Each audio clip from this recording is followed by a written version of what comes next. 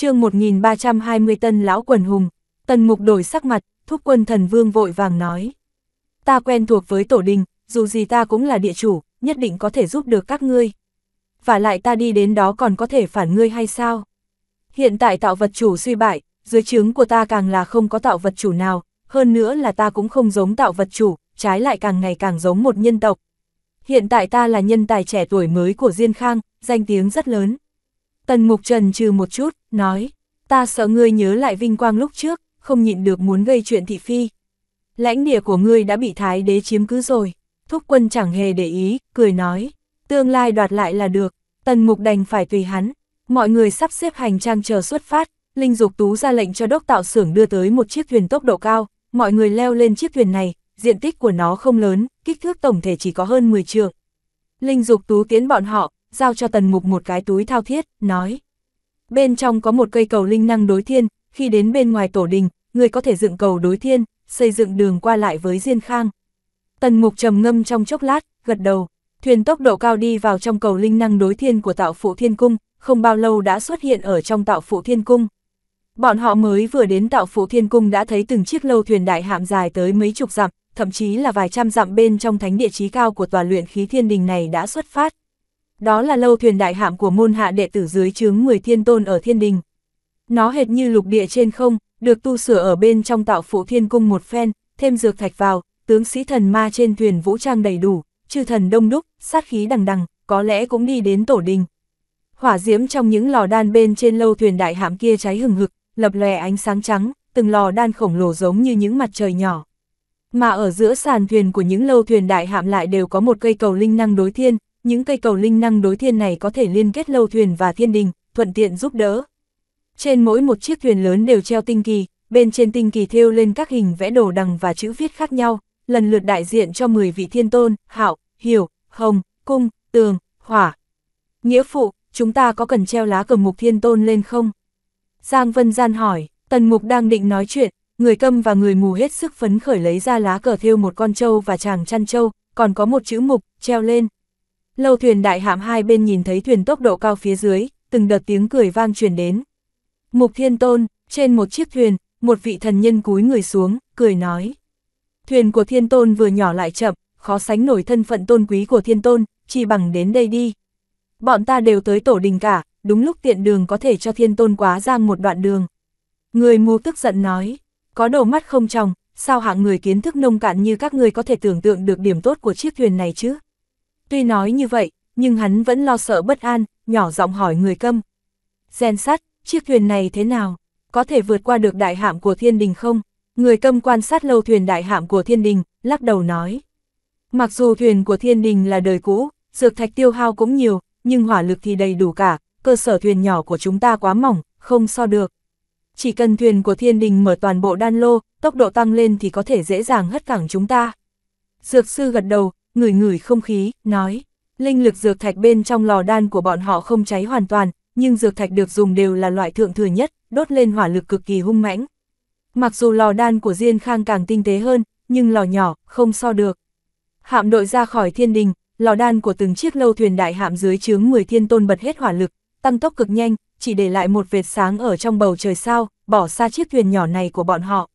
Tần mục lấy đèn lồng của Nguyệt Thiên Tôn ra, treo ở bên trên cột buồm thuyền. Chiếc thuyền tốc độ cao này vẫn chậm rãi từ từ tiến lên, nhưng mà rất nhanh đã nhìn thấy chiến hạm của thiên đình ở phía trước, lại không lâu sau, thuyền tốc độ cao đã đến phía trước chiến hạm của thiên đình. Trên chiến hạm là vô số gương mặt kinh hãi, mọi người nhao nhao quay đầu lại nhìn liền thấy chiến hạm thiên đình đã bị bỏ lại ở phía xa xa, không còn thấy bóng dáng đâu nữa.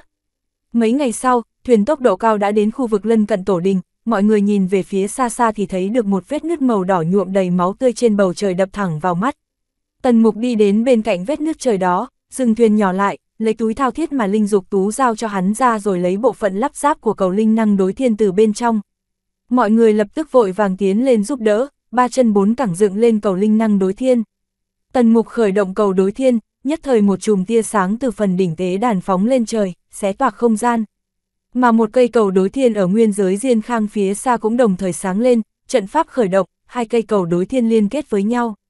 Tần mục trầm ngâm trong chốc lát, thần thông bạo phát, lần lượt lạc ấn vào bên trong cầu linh năng đối thiên, nói. Hiện tại đã được rồi, chúng ta đi vào tổ đình thôi. Thần thông hắn đã thi triển là thần thông vật chất bất dịch của Lăng Thiên Tôn, cho dù cây cầu kia bị người đánh nát cũng sẽ nhanh chóng khôi phục như lúc ban đầu, như vậy con đường này sẽ không bị cắt đứt. chương 1321 mạch khoáng kỳ lạ. Mọi người đến phía trước vết nước trời, nhìn phong ấn của tám vị thiên tôn để lại đó, trong lòng đều có chút e ngại. Tần Mục cười nói, tám vị thiên tôn phong ấn nơi này, ta cũng đã tạo nên phong ấn của ta, chúng ta có thể dễ dàng xuyên qua từ bên trong phong ấn của ta. Mục Nhi, phong ấn của ngươi ở đâu? Người mù nhìn xung quanh một lúc lâu cũng không thấy phong ấn của tần mục ở đâu, không nhịn được hỏi. Ở ngay chỗ này, nhìn thấy sợi tơ mỏng xuyên qua phong ấn của tám thiên tôn không? Tần mục chỉ điểm trong phút chốc, lúc này mọi người mới nhìn thấy, sắc mặt cổ quái. Phong ấn nhỏ quá, làm sao mới có thể xuyên qua đây? Quả thật phong ấn của tần mục quá nhỏ, nếu không nhìn kỹ thì hoàn toàn không tài nào nhìn ra nổi. Tần mục cười nói, sức mạnh của ta không bằng tám thiên tôn, nhưng mà chưa chắc thần thông đã thua kém bọn họ. Thoạt nhìn phong ấn này tuy nhỏ, nhưng trên thực tế bên trong có cản khôn. Hắn thôi thúc thuyền tốc độ cao sông về phía phong ấn, tất cả mọi người trên thuyền đều hơi căng thẳng, phong ấn của tám thiên tôn cực kỳ đáng sợ, nếu như hơi không cẩn thận chạm đến phong ấn của tám thiên tôn, uy năng của phong ấn kia bạo phát, chỉ sợ bọn họ đều sẽ chết không có chỗ chôn thân. Nhưng mà thuyền tốc độ cao đi tới phía trước phong ấn của vết nứt bầu trời, chỉ thấy phong ấn của tám thiên tôn xung quanh dần dần trở nên càng ngày càng nhỏ, mà phong ấn tần mục để lại kia lại càng ngày càng lớn. Loại biến hóa lớn nhỏ này khiến tất cả mọi người không hiểu rõ nổi. Thuyền tốc độ cao sông vào trong phong ấn của tần mục, chỉ thấy một con đường thẳng tới bên trong tổ đình, mà từ thông đạo nhìn ra bên ngoài lại có thể nhìn thấy phong ấn của tám thiên tôn một cách rõ ràng. Ngoài thông đạo chính là từng tia từng luồng hào quang, đó là dị tượng mà phong ấn của tám thiên tôn hình thành, đứng ở trong thông đạo nhìn ra phía ngoài sẽ có thể thưởng thức được vẻ đẹp thần thông của tám vị thiên tôn. Mặc dù thuyền tốc độ cao không lớn, nhưng mọi người trên thuyền lại đều là tinh anh của Diên Khang, ai nấy đều nhao nhao lấy ra giấy bút và thần binh tính toán, dốc lòng tính toán ảo diệu tích chứa trong thần thông của tám vị thiên tôn. Còn có người trẻ tuổi thỉnh giáo người mù, người mù cũng kiên nhẫn, cẩn thận chỉ bảo bọn họ. Tần mục thấy thế, để thuyền tốc độ cao đi chậm một chút để cho bọn họ có đầy đủ thời gian nghiên cứu thần thông của tám thiên tôn. Chờ đến khi thuyền tốc độ cao đi ra khỏi vết nứt trời thì đã qua hơn 10 ngày, chiến hạm của thiên đình vẫn chưa tới nơi này. Tần mục điều khiển thuyền tốc độ cao chạy tới hướng đại hắc mộc, sắc mặt trầm trọng, nghiêm túc dặn dò. Bên trong tổ đình vô cùng hung hiểm, khắp nơi đều là hư không thú, thân thể của loài hư không thú này có thể hóa thành hư không, cũng có thể từ hư không hóa thành chân thực, xuất quỷ nhập thần, có thể hiện ra từ tất cả các nơi, mọi người nhất định phải cực kỳ thận trọng. Nếu như muốn ra ngoài, nhất định phải đi cùng thúc quân. Thúc quân cười nói, thần thông giả của Diên Khang và thần ma đều đã tu luyện pháp môn thần thức của tạo vật chủ, gặp phải hư không thú cũng không cần phải căng thẳng. Tuy thần thức của các ngươi không tính là mạnh, nhưng mà mấy người liên thủ cũng có thể dọa lùi hư không thú. Mọi người sôi nổi nói phải, mặc dù tốc độ của thuyền tốc độ cao không chậm, nhưng so với đất đai rộng lớn bao la của tổ đình mà nói thì vẫn quá chậm, chiếc thuyền này đã chạy được hơn 10 ngày trên không trung, nhưng vẫn chưa đi đến Đại Hắc Mộc. Tần Mục cũng cố gắng thả chậm tốc độ để bọn họ có thể kịp quan sát địa hình tổ đình. Đối với Tần Mục mà nói, có thể giữ được Đại Hắc Mộc hay không không quan trọng, mấy người này mới là bảo vật quý báu nhất, nếu như Đại Hắc Mộc bị đánh hạ, bọn họ hiểu rõ địa hình cũng dễ chạy thoát thân. Đại Hắc Mộc của ta đứng đầu tất cả bảo địa, tám thiên tôn nhìn thấy nơi đó của ta, ánh mắt của mỗi người đều có chút quái lạ, hơn phân nửa là đã động lòng tham. Tần Mục thầm nghĩ, đúng là hai cổ thần trong mạch khoáng thái cực kia đối xử với ta tốt thật đấy. Thuyền tốc độ cao đi được một nửa lộ trình, lúc này 10 chiếc lâu thuyền đại hạm của thiên đình kia mới thong dong đi đến. Chẳng qua động tính của 10 chiếc chiến hạm này quá kinh người, vậy mà lái thẳng ra từ trong phong ấn của tám thiên tôn, hạ xuống đến trên bầu trời tổ đình, tướng sĩ thần ma bên trên thuyền đồng loạt thôi thúc đủ loại thần binh, bên ngoài lâu thuyền đại hạm cùng sáng lên từng lớp phù văn hộ thuẫn vô cùng rực rỡ, thủ hộ 10 chiếc lâu thuyền đến mức không gì phá nổi. Hơn nữa còn có cường giả đế tọa tọa chân ở bên trên lâu thuyền, tỏa ra đế uy, đe dọa hư không cự thú.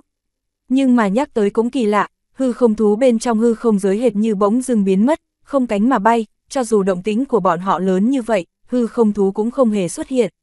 Đây là chuyện không thể nào, hư không thú hễ nhìn thấy sinh linh là sẽ trực tiếp chạy tới ăn mất, tranh nhau chen lấn, lúc không có đồ ăn, ngay cả cỏ cây cũng sẽ gặm sạch sẽ. Lúc cực đói, thậm chí còn chạy cả lên trời ăn mặt trời ăn mặt trăng.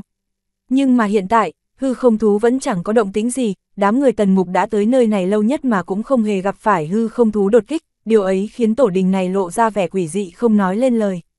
Là hư không mẫu thú đã ra đời rồi. Bên trên thuyền tốc độ cao, sắc mặt tần mục xa sầm, hắn quan sát bầu trời, ánh mắt xuyên vào bên trong từng tầng hư không. Ánh mắt của hắn không thể nào nhìn thấu hư không, không như thần thức có thể thấy được chỗ sâu của hư không, vì vậy hắn không nhìn thấy tung tích của hư không thú.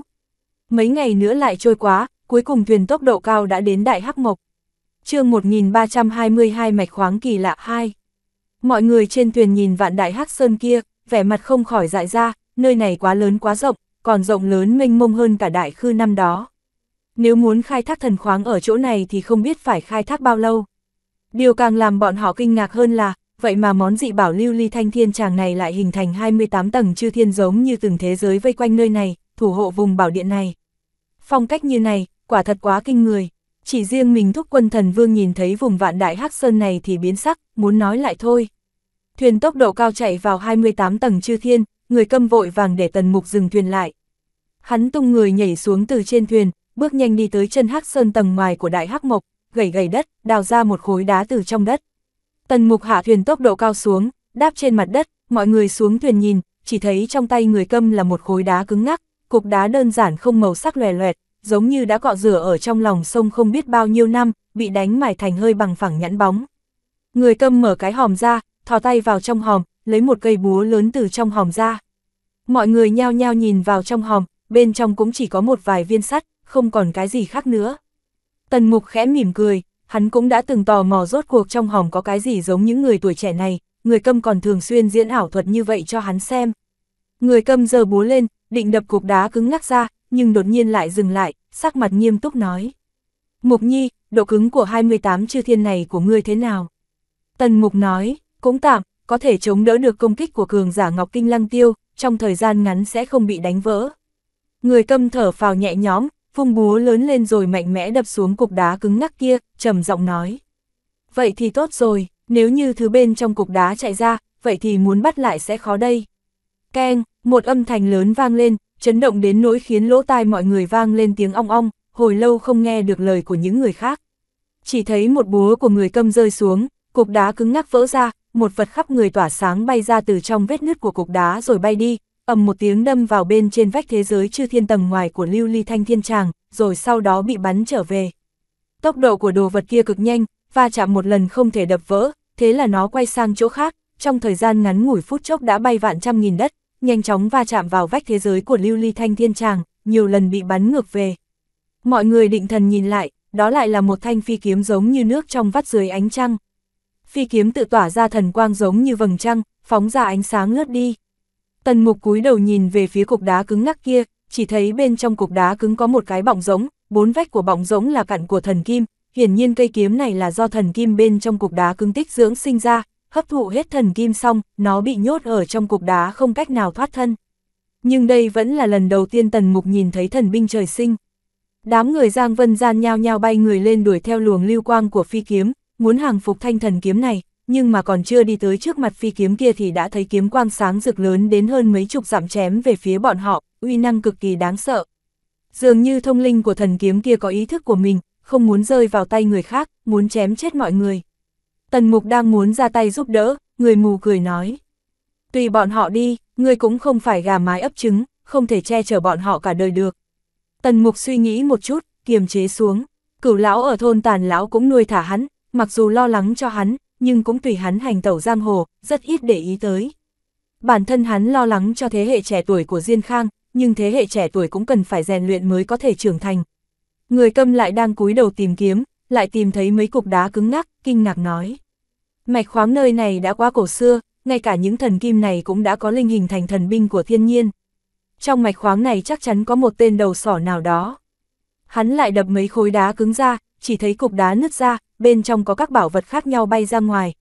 Nào là ngọc, bài, đỉnh, đao, thậm chí còn có một con kim ngưu, gặp gió sẽ lớn, hóa thành khổng lồ.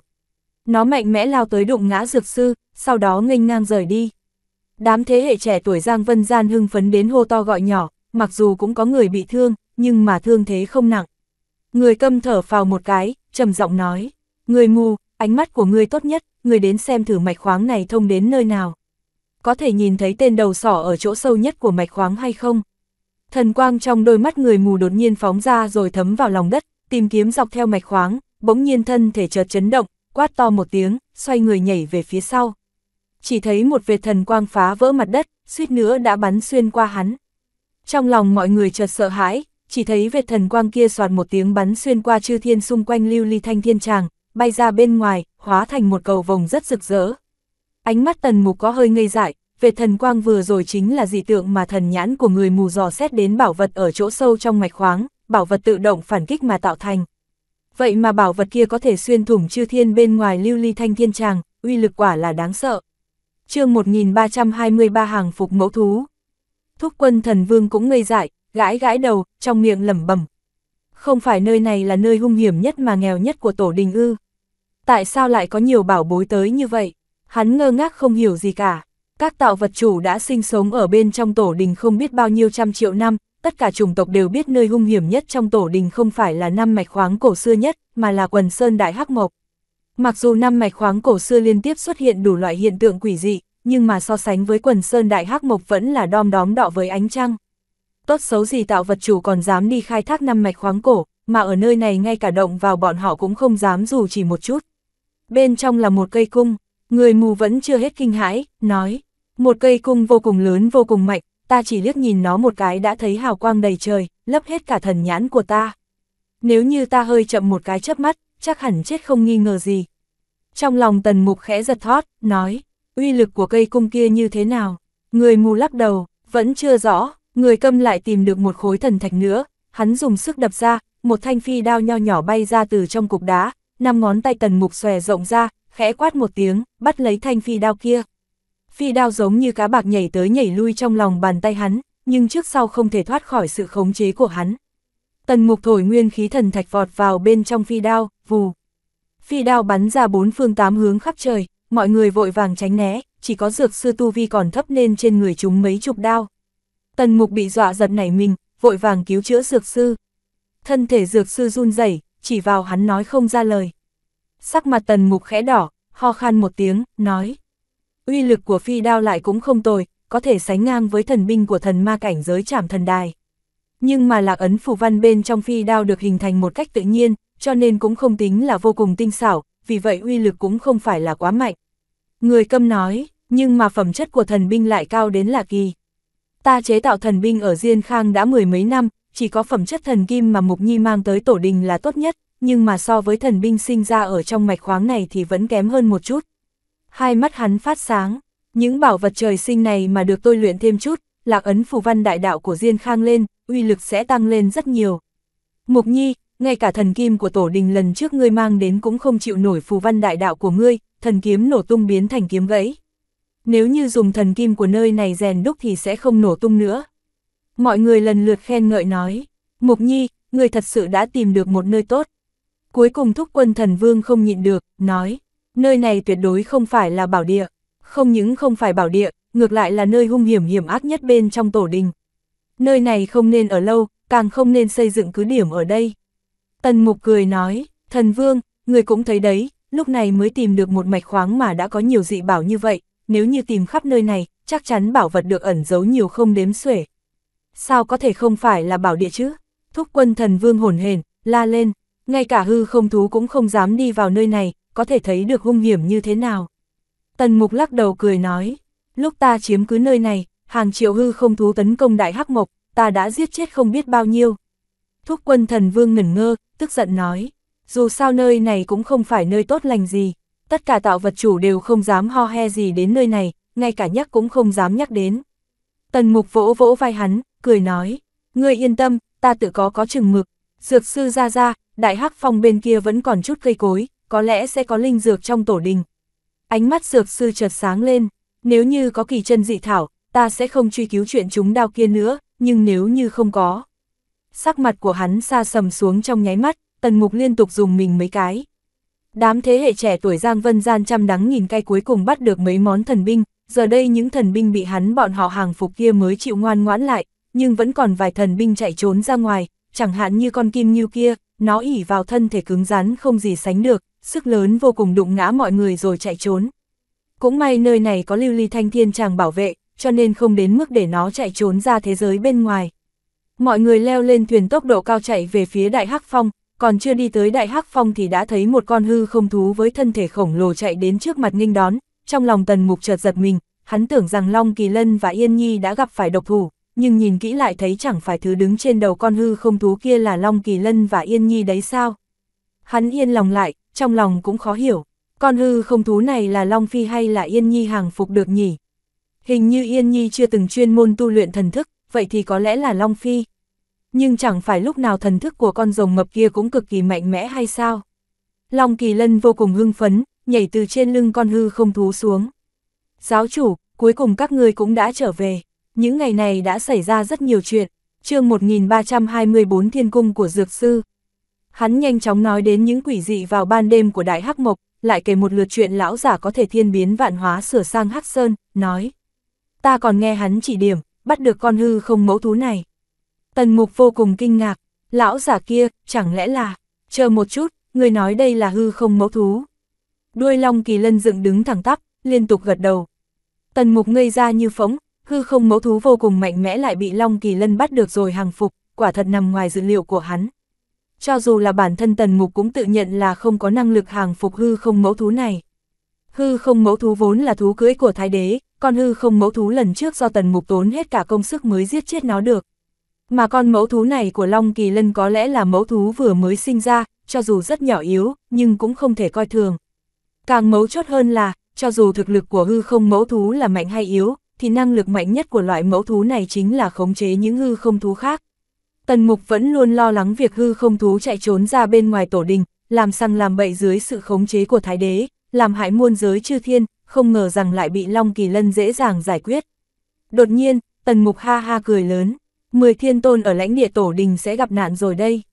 Thúc quân cũng ngây ra như phỗng, trong lịch sử của tạo vật chủ, hư không thú vẫn luôn là thú cưỡi tha thiết ước mơ của dũng sĩ trong tạo vật chủ, nắm giữ một con hư không thú, thân phận địa vị trong bộ lạc sẽ trực tiếp tăng lên. Đương nhiên việc thúc quân không có hư không thú không phải là do thực lực của hắn không đủ mạnh, trái lại kiếp trước hắn là tạo vật chủ mạnh mẽ nhất của thời đại kia, được tôn là thần vương. Mặc dù hư không thú rất mạnh, nhưng hư không mẫu thú lại nằm trong tay thái đế, vì lẽ đó mà thúc quân không hàng phục hư không thú, mà là hàng phục một loại cự thú cực kỳ mạnh mẽ khác tên là thái bồ. Chiến lực của thái bồ cao hơn, gần như không phân cao thấp với hư không mẫu thú, nhưng không có loại năng lực xuất quỷ nhập thần trốn vào hư không như hư không thú. Sau này tổ đình có sự thay đổi lớn, cự thú thái cổ ở nơi này đều tuyệt tích, cự thú thái bổ của thúc quân cũng cùng chết trận theo hắn ở địa giới huyết tú. Đã có hư không mẫu thú, vậy thì sẽ có thể khống chế hư không thú công kích quấy rối lãnh địa của những thiên tôn khác, nếu như bọn họ ngấp nghé lãnh địa của chúng ta, vậy thì cứ tấn công vào chỗ yếu. Tần mục cười to nói, Phi, ngươi làm tốt lắm, Long Kỳ Lân rất đắc ý, suy nghĩ của tần mục linh hoạt hẳn lên, tính toán nói. Chúng ta còn có thể đánh đòn phủ đầu, sơ tổ, nhị tổ, ta đưa các ngươi đi đến chặn cửa lãnh địa của các thiên tôn. Sơ tổ nhân hoàng cười nói, Mục Nhi, người đã lớn như vậy rồi, hơn nữa còn là Mục Thiên Tôn, loại chuyện đi chặn cửa này không cần bọn ta đi theo nữa. Tần Mục lắc đầu nói, là ta mang theo các ngươi chặn cửa, chặn cửa, cần phải có cường giả chấn giữ, ta mang theo các ngươi đến chặn khu mỏ quặng của các thiên tôn, xem thử thần thông của cường giả thiên đình. Các đời nhân hoàng siết chặt nắm đấm, sắc mặt khó coi. Ý Sơn nhân hoàng lạnh lùng cười nói, nếu không phải đánh không lại ngươi, ta mà có thể đánh được ngươi thì ta đã đánh ngươi đến mức tô mạc già cũng không nhận ra ngươi rồi. Các nhân hoàng khác nhau nhau gật đầu, sơ tổ cũng gật đầu liên tục. Tần mục ha ha cười lớn, nói, việc này cứ quyết định như vậy đi, ta xử lý một chút chuyện bên này trước, sau đó sẽ dẫn các ngươi đi đến gặp bọn họ một lát. Hắn dẫn theo dược sư đến chỗ cây cối rậm rạp trong đại hắc phong, thử dò xét nói. Dược sư ra ra, cây cối nơi này có phải là linh dược hay không? Dược sư cúi người, cẩn thận kiểm tra một gốc hoa cỏ, sắc mặt càng ngày càng cổ quái, thật lâu sau mới thẳng người lên, lấy ngân châm ra cẩn thận từng ly từng tí đâm nhẹ một cái trên cành lá xanh nhạt. Gốc hoa cỏ kia đột nhiên vù một tiếng chui vào lòng đất, chạy trốn. Dược sư cau mày suy nghĩ một lát rồi lấy ra một viên linh đan, cẩn thận từng ly từng tí đặt ở trước lỗ nhỏ mà gốc thần thảo kia chạy trốn để lại. Một lúc sau, chỉ thấy gốc thần thảo kia lại cẩn thận từng ly từng tí thỏ ra một phiến cành lá, thử thăm dò một phen, phát hiện không có nguy hiểm lúc này mới lại trồi lên, dùng sợi dễ cuốn viên linh đan kia rồi kéo vào lòng đất. Linh dược nơi này đều là chủng loại chân quý, ta chưa từng nhìn thấy ở bên ngoài bao giờ. Dược sư nhìn xung quanh, trầm giọng nói, về phần dược lực và dược hiệu của bọn nó, ta vẫn cần phải kiểm tra kỹ càng một phen. Ồ, kỳ lạ, Hắn đi đến phía trước một gốc linh dược khác, vậy mà gốc linh dược kia mạnh mẽ đến gần như hóa thành tình trạng thực chất, dược lực lại hóa thành đường hoa văn, hình thành dị tượng các loại phù văn. Trong lòng dược sư chấn động mạnh, hắn tỉ mỉ kiểm tra xem xét cấu tạo của từng phần dược lực, thật lâu sau mới phun ra một ngụm chọc khí, lẩm bẩm nói. Đạo của ta, sắp thành rồi. Hắn không nhịn được lã trã rơi lệ, tần mục thì mừng rỡ như điên, ngửa đầu nhìn trời, lẩm bẩm nói. Đạo của ta, cũng đã sắp thành rồi. Dược sư dùng một cước đạp hắn bay ra ngoài, tức giận nói. Hàng ngày chỉ biết ăn bám, bản thân ngươi bỏ thêm nhiều công sức chút thì đã sớm thành rồi. Tần mục xoa xoa cái mông, cây ngay không sợ chết đứng nói. Hàng ngày ta có rất nhiều việc phải làm, chạy tới chạy lui, còn phải tìm hiểu các loại thần thông đạo pháp, làm gì có thời gian luyện y đạo. Đương nhiên phải ăn bám. Dược sư thấy hắn còn dám cãi lại, hận không thể nhét độc dược vào trong cổ họng hắn chương 1325 Thiên Cung của Dược Sư 2 Tần Mục vội vàng rời đi, chỉ thấy Long Kỳ Lân và Yên Nhi đang sắp xếp ổn thỏa đám người Diên Khang vừa tới, chờ đến khi bọn họ thu xếp xong, lúc này Tần Mục mới gọi bọn họ đến, hỏi kỹ vị lão giả không có diện mạo và giới tính cố định kia. Thật lâu sau, ánh mắt Tần Mục lóe lên, nói. Hắn giống như là biết hết tất cả ư, thế mà còn biết ta đã truyền thụ tam viên thượng thức và đại la vô thượng thần thức cho ngươi, còn biết hư không mẫu thú ra đời. Trước đó tổ đình vẫn luôn bị phong ấn, mãi cho đến khi chúng ta đến nơi đây mới giải phong ấn, nhưng cũng không giải phong ấn hoàn toàn. Vậy thì lão giả thần bí này chỉ có thể là thần thánh sinh ra từ trong mạch khoáng hỗn độn thần bí khó lường kia. Yên Nhi nói, những ngày này hắn đều xách thùng nước, sửa chữa thần sơn bị đánh nứt, những thần sơn này rất kinh khủng. Đây là đạo thay thế vật chất, sắc mặt tần mục bình tĩnh nói. Tổng vật chất tổng năng lượng của vũ trụ vĩnh viễn không thay đổi, quá trình vũ trụ hủy diệt là quá trình biến vật chất thành năng lượng, quá trình vũ trụ sinh ra là quá trình biến năng lượng thành vật chất. Tuy nói những sinh vật đáng sợ kia đến từ vũ trụ đã bị hủy diệt ngày trước, nhưng cũng cần phải tuân theo nguyên tắc này. Đã có gốc hắc mộc này, vậy thì quá khứ và tương lai sẽ có một thông đạo kết nối. Hắn dạo bước tới lui, suy tư nói, bọn họ nhờ vào hư không thú chiếm lấy một phần vật chất từ vũ trụ này của chúng ta, bổ sung đến vũ trụ của quá khứ, sau đó vật chất ở nơi này của chúng ta ít đi, vật chất nơi đó của bọn họ nhiều hơn, bọn họ sẽ có thể thừa cơ thay thế đến đây, đi tới thế giới của chúng ta. Nói cách khác, bọn họ ở vũ trụ trước kia cũng chính là ở bên cạnh rễ của gốc đại hắc mộc này để tiến hành một trận triệu hồi nghịch hướng, lấy trộm vật chất nơi này của chúng ta. Cho nên các người mới có thể nhìn thấy thi thể hư không thú chất đống như núi rất nhanh đã không còn máu tươi, không còn bắp thịt, thậm chí ngay cả xương cốt cũng biến mất trong mấy ngày. Tần mục ngẩng đầu nhìn về phía nơi xa, siết chặt nắm đấm, nói. Vị cổ thần kia xử lý không ổn chút nào. Hắn đã phong bế quần sơn đại hắc mộc này, nhưng mà vũ trụ. Này của chúng ta vẫn thiếu hụt phần vật chất, vũ trụ quá khứ kia vẫn nhiều hơn một phần vật chất. Sớm muộn gì bọn họ vẫn sẽ lại đến đây. Phong ấn đại hắc sơn chỉ là trị ngọn không trị gốc. Nói hay lắm, tần mục vừa dứt lời, chỉ nghe thấy một giọng nói truyền đến, khen ngợi.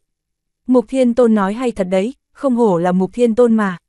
Tần Mục nhìn về hướng giọng nói phát ra, chỉ thấy một người dáng vẻ thư sinh không biết đã đến phía sau bọn họ từ lúc nào, tay cầm quạt xếp, phong thái phiêu giật, dung mạo tuấn tú, nhưng lại hơi âm nhu. Tần Mục nhìn về phía Long Kỳ Lân và Yên Nhi, hai người vội vàng lắc đầu, khẽ nói. Mỗi lần hắn tới, nam nữ không cố định, khuôn mặt không cố định, chủng tộc cũng không cố định. Chúng ta cũng không biết có phải là hắn hay không. Tần Mục làm lễ, nói, xin hỏi đạo huynh xưng hô như thế nào? Thư sinh kia vỗ quạt xếp xuống tay, chào đáp lễ nói. Người đời sau gọi ta là Thái Dịch, Mục Thiên Tôn còn cầm mảnh vỏ trứng lúc ta sinh ra đời đấy. Sắc mặt tần mục hơi đỏ, nói, nhìn thấy bảo vật khó tránh khỏi động tâm, đạo huynh định đòi lại hay sao? Thư sinh Thái Dịch kia lắc đầu nói, với ta mà nói đã vô dụng, tần mục thở phào nhẹ nhõm, vốn dĩ hắn cũng không có ý định trả lại cho Thái Dịch. Thư sinh Thái Dịch nói, Mục Thiên Tôn, thật ra chúng ta đã từng gặp nhau. Tần Mục kinh ngạc vô cùng, nói, xin hỏi đã từng gặp ở đâu?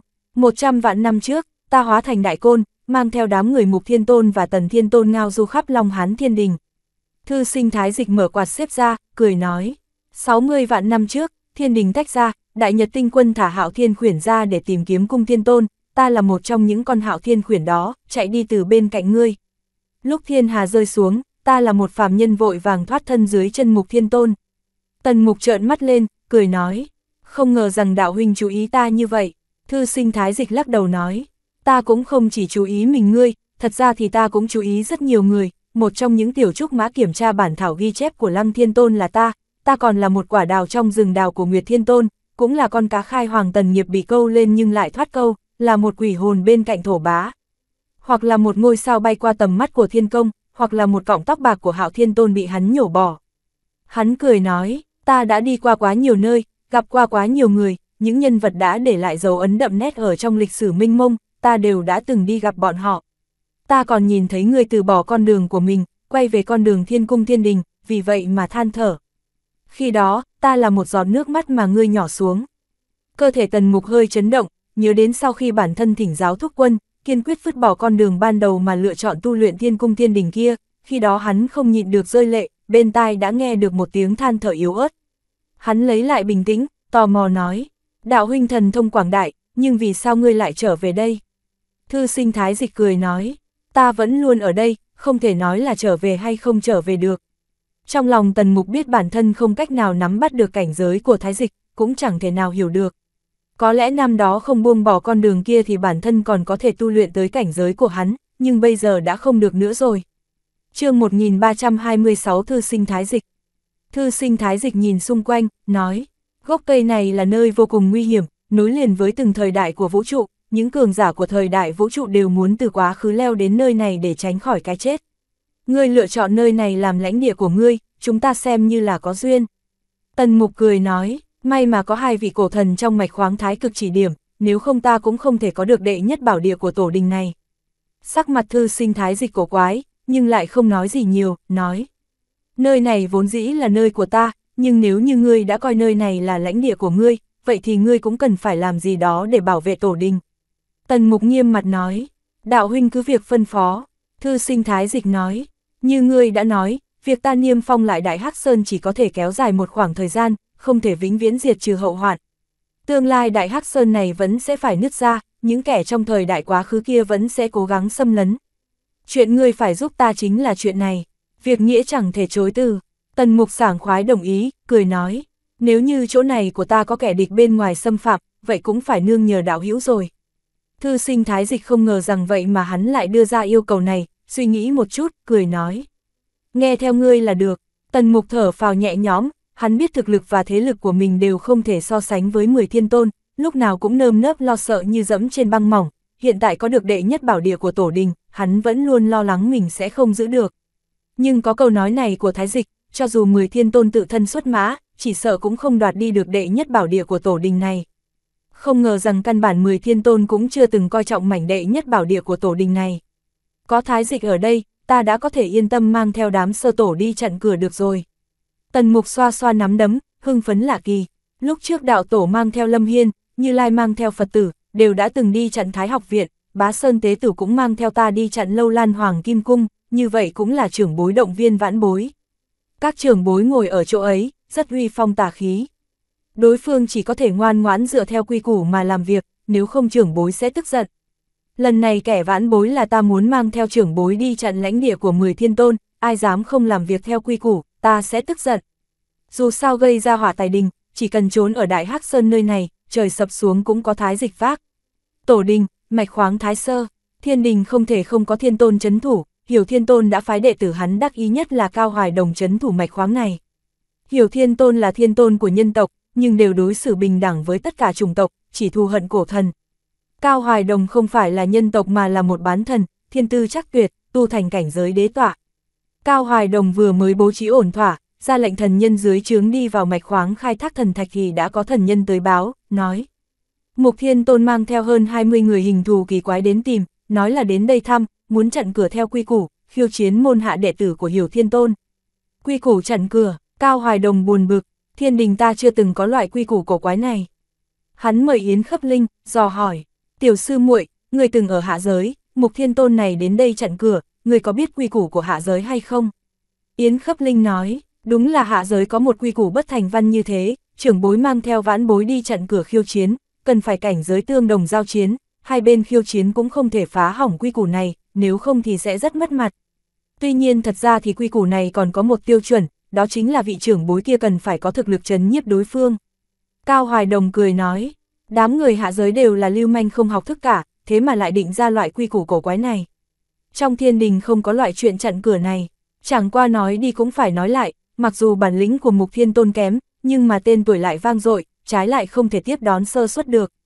Tiểu sư muội, bản lĩnh của ngươi cao siêu chắc tuyệt, trong cùng cảnh giới khó gặp đối thủ, người đi đuổi hắn đi. Yến Khấp Linh lắc đầu nói, ta đã tranh phong với hắn mấy lần, nhưng đều chưa từng thắng hắn. Sắc mặt Cao Hoài Đồng khẽ thay đổi, ngập ngừng nói. Ngươi không thể thắng hắn, ta cũng rất khó thắng hắn. Thần nhân báo tin nói, lần này là Mục Thiên Tôn chấn giữ, nói là để những người khác khiêu chiến. Cao Hoài Đồng bật cười nói, nếu như là bản thân Mục Thiên Tôn tới khiêu chiến, trái lại ta còn sợ hắn ba phần, không ngờ rằng hắn đã ăn gan hùm mật báo, vậy mà lại để những người khác khiêu chiến. Cũng được, những sư huynh đệ chúng ta sẽ đọ sức với người hắn mang tới, để cho hắn biết thế nào là trời cao đất rộng. Hắn dẫn đầu hơn 10 vị đệ tử của Hiểu Thiên Tôn đi ra ngoài nghênh đón. Chỉ thấy tần mục ngồi chiếc thuyền tốc độ cao nhỏ bé kia đi đến bên ngoài khu mỏ quặng, quả nhiên trên thuyền là vài người hình thù kỳ quái, cao thấp mập gầy, chỉ có tầm 2-3 người là coi như có thể nhìn được. Dường như mâu thuẫn giữa những người này rất sâu, giữa bọn họ nhìn ai cũng không vừa mắt, chen lấn ở trên một con thuyền suýt nữa sống mái với nhau. Nhưng người khiến bọn họ nhìn cam thù nhất vẫn là tần mục, tất cả mọi người trên thuyền đều nhìn hắn với dáng vẻ khó chịu. chương 1327 trận cửa tổ đình. Cao Hoài Đồng làm lễ với tần mục, cười nói, Mục Thiên Tôn đến thăm, ta đón tiếp sơ sài, thứ tội. Thiên Tôn dẫn đầu những đạo hiếu này chặn cửa khiêu chiến, đương nhiên dòng dõi hiểu Thiên Tôn ta không thể làm mất đi tên tuổi của sư tôn, cho nên đã đồng ý. Tần Mục khách khí nói, sư điệt yên tâm, người của ta tự có có chừng mực. Nói ra thì bọn họ đều là trưởng bối của ta, ta cũng vì lo lắng bọn họ bỏ bê tu luyện, buông thả, cho nên muốn mượn tay các sư điệt để tôi luyện bọn họ. Đám người tề khang nhân hoàng, ý sơn nhân hoàng thổi dâu chừng mắt.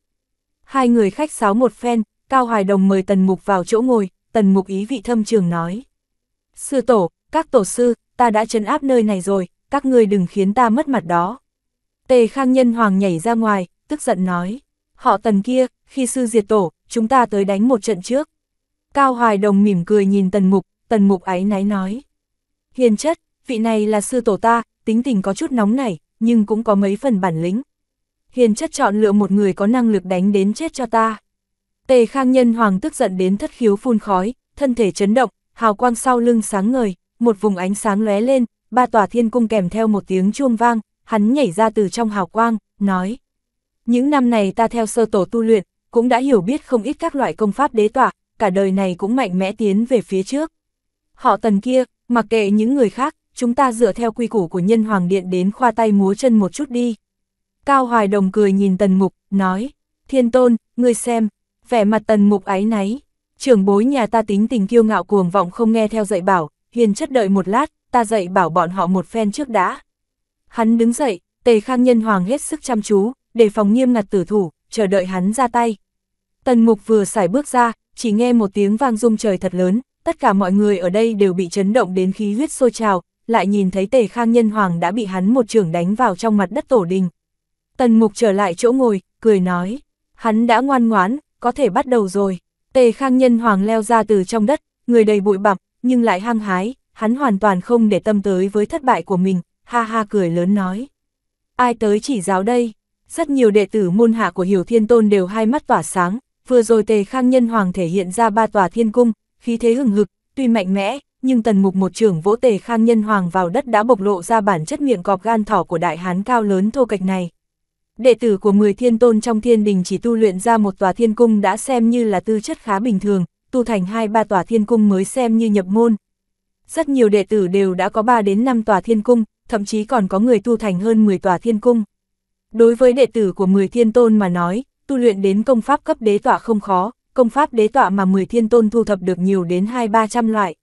Muốn tu thành cảnh giới thiên đình không phải là dựa vào có bao nhiêu công pháp đế tọa mà là chủng loại, chỉ cần 36 loại công pháp đế tọa hệ thống khác biệt dung hợp lại với nhau, thông hiểu đạo lý, thống nhất trong một hệ thống công pháp, trên lý thuyết sẽ có thể tu thành cảnh giới thiên đình. Chẳng qua tìm được 36 loại công pháp đế tọa hệ thống khác nhau quá khó, dung hợp vậy thì càng khó hơn. Ta vẫn nên tìm một kẻ yếu vậy.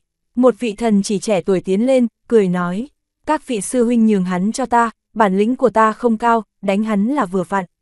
Hai người vừa mới giao thủ, đám người cao hoài đồng đệ tử của Hiểu Thiên Tôn cũng đều thay đổi sắc mặt, vừa rồi tề khang nhân hoàng bị tần mục một trưởng vỗ vào trong đất khiến cho người ta có hơi coi thường hắn, mà bây giờ chiến lược của tề khang nhân hoàng thể hiện ra lại vô cùng kinh người, giao chiến với vị thần chỉ trẻ tuổi kia, không những không rơi vào thế hạ phong, ngược lại chiếm thế thượng phong lớn.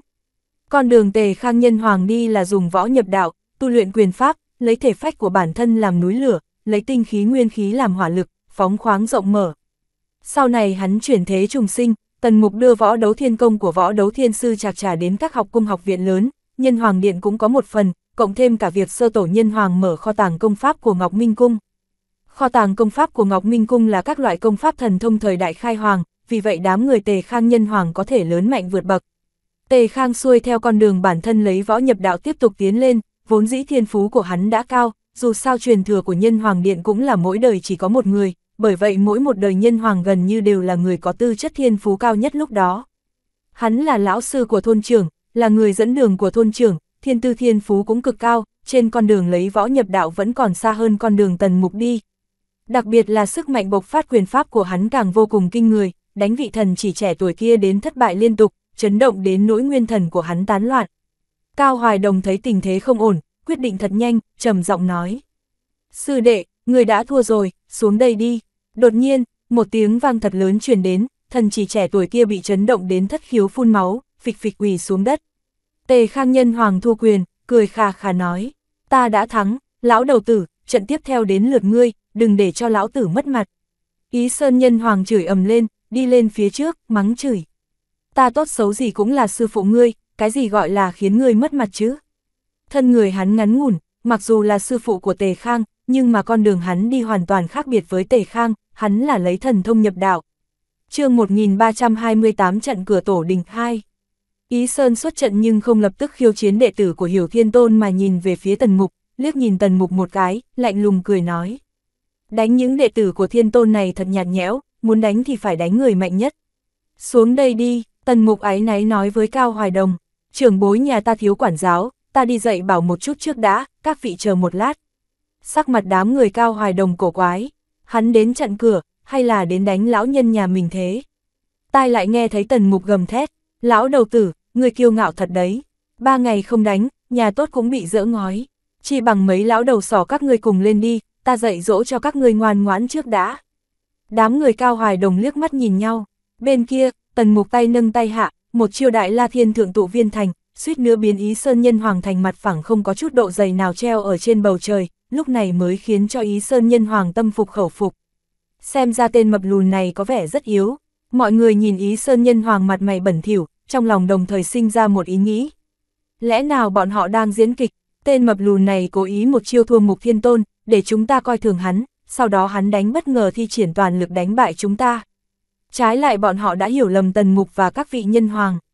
Bất kể là Ý Sơn hay Tề Khang, khi đối mặt với tần mục đều sử dụng toàn lực, không phải là bọn họ tỏ ra yếu thế, nhưng tiếc rằng thực lực của tần mục quá kinh khủng, đến nỗi bọn họ vẫn là một chiêu đã bại.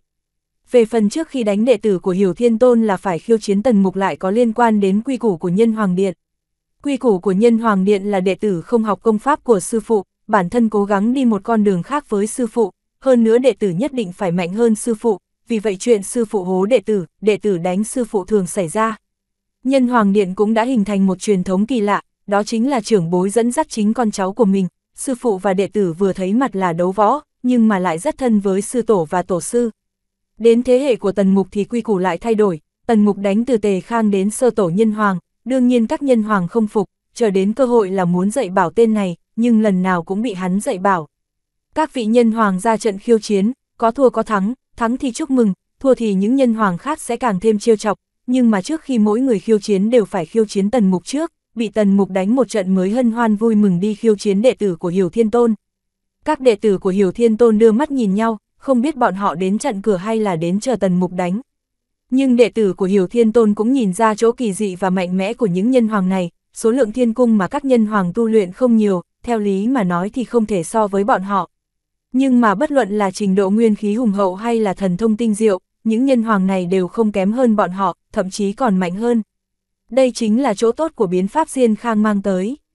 Các đời nhân hoàng đều là nhân vật tu thành thiên hà thần tàng, lại thêm cả biến pháp hun đúc, cảnh giới tương đồng, chiến lực không yếu hơn đám đệ tử của thiên tôn là bọn họ. Cuối cùng đã tới sơ tổ nhân hoàng, sơ tổ nhân hoàng đi lên phía trước, liếc nhìn đệ tử của hiểu thiên tôn, lại liếc nhìn tần mục, há miệng, lại không nói gì. Tần Mục hiểu ý, ái náy nói với Cao Hoài Đồng. Vị này là sơ tổ của nhân hoàng điện, cũng là lão tổ trăm đời của lão Tần gia.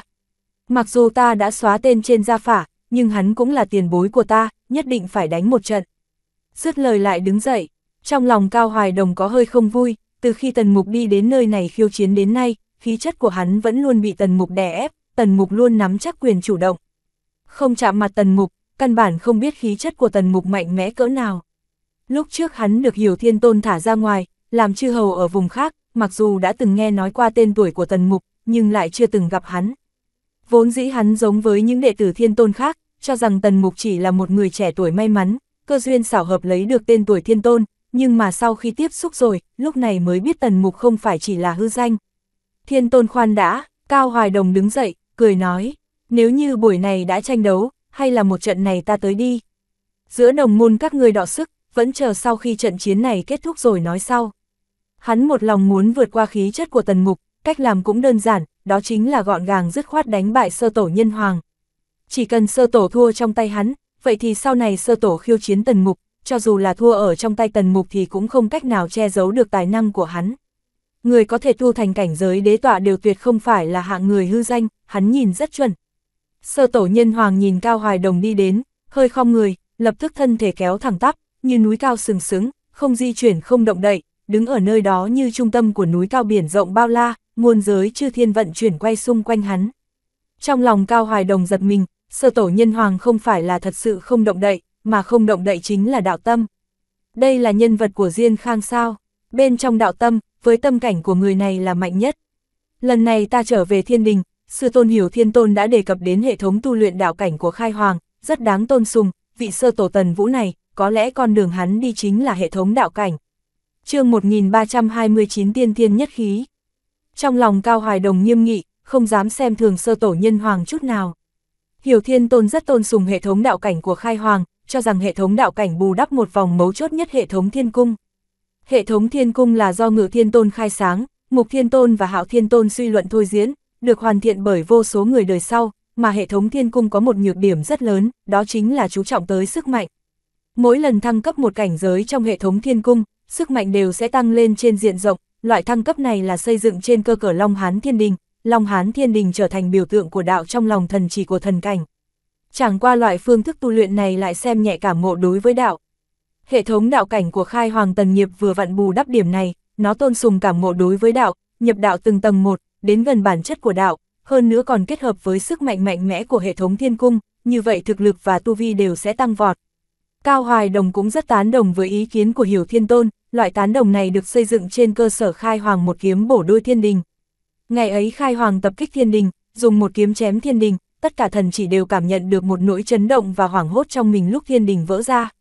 Đương nhiên thiên đình cũng chưa hoàn toàn vỡ ra, bởi vậy tất cả chấn động và hoảng hốt của thần chỉ chỉ ngắn ngủi chốc lát, sau khi qua khoảng thời gian đó, chấn động và hoảng hốt biến mất, phần lớn nhóm thần chỉ cũng không để tâm đến chuyện này nữa. Cao Hoài Đồng là số ít trong đó. Hắn sâu sắc cảm nhận được đạo tâm của bản thân suýt nữa vỡ ra, chấn động trên tâm hồn của hắn cũng không có gì so sánh nổi. Nếu như thiên đình thật sự vỡ ra, thần chỉ trong thiên hạ sẽ xuất hiện hậu quả gì đây? Liệu đạo tâm của bọn họ có tan rã bởi vì lý do đó hay không? Liệu thiên cung của bọn họ có đánh mất thần lực vì vậy hay không?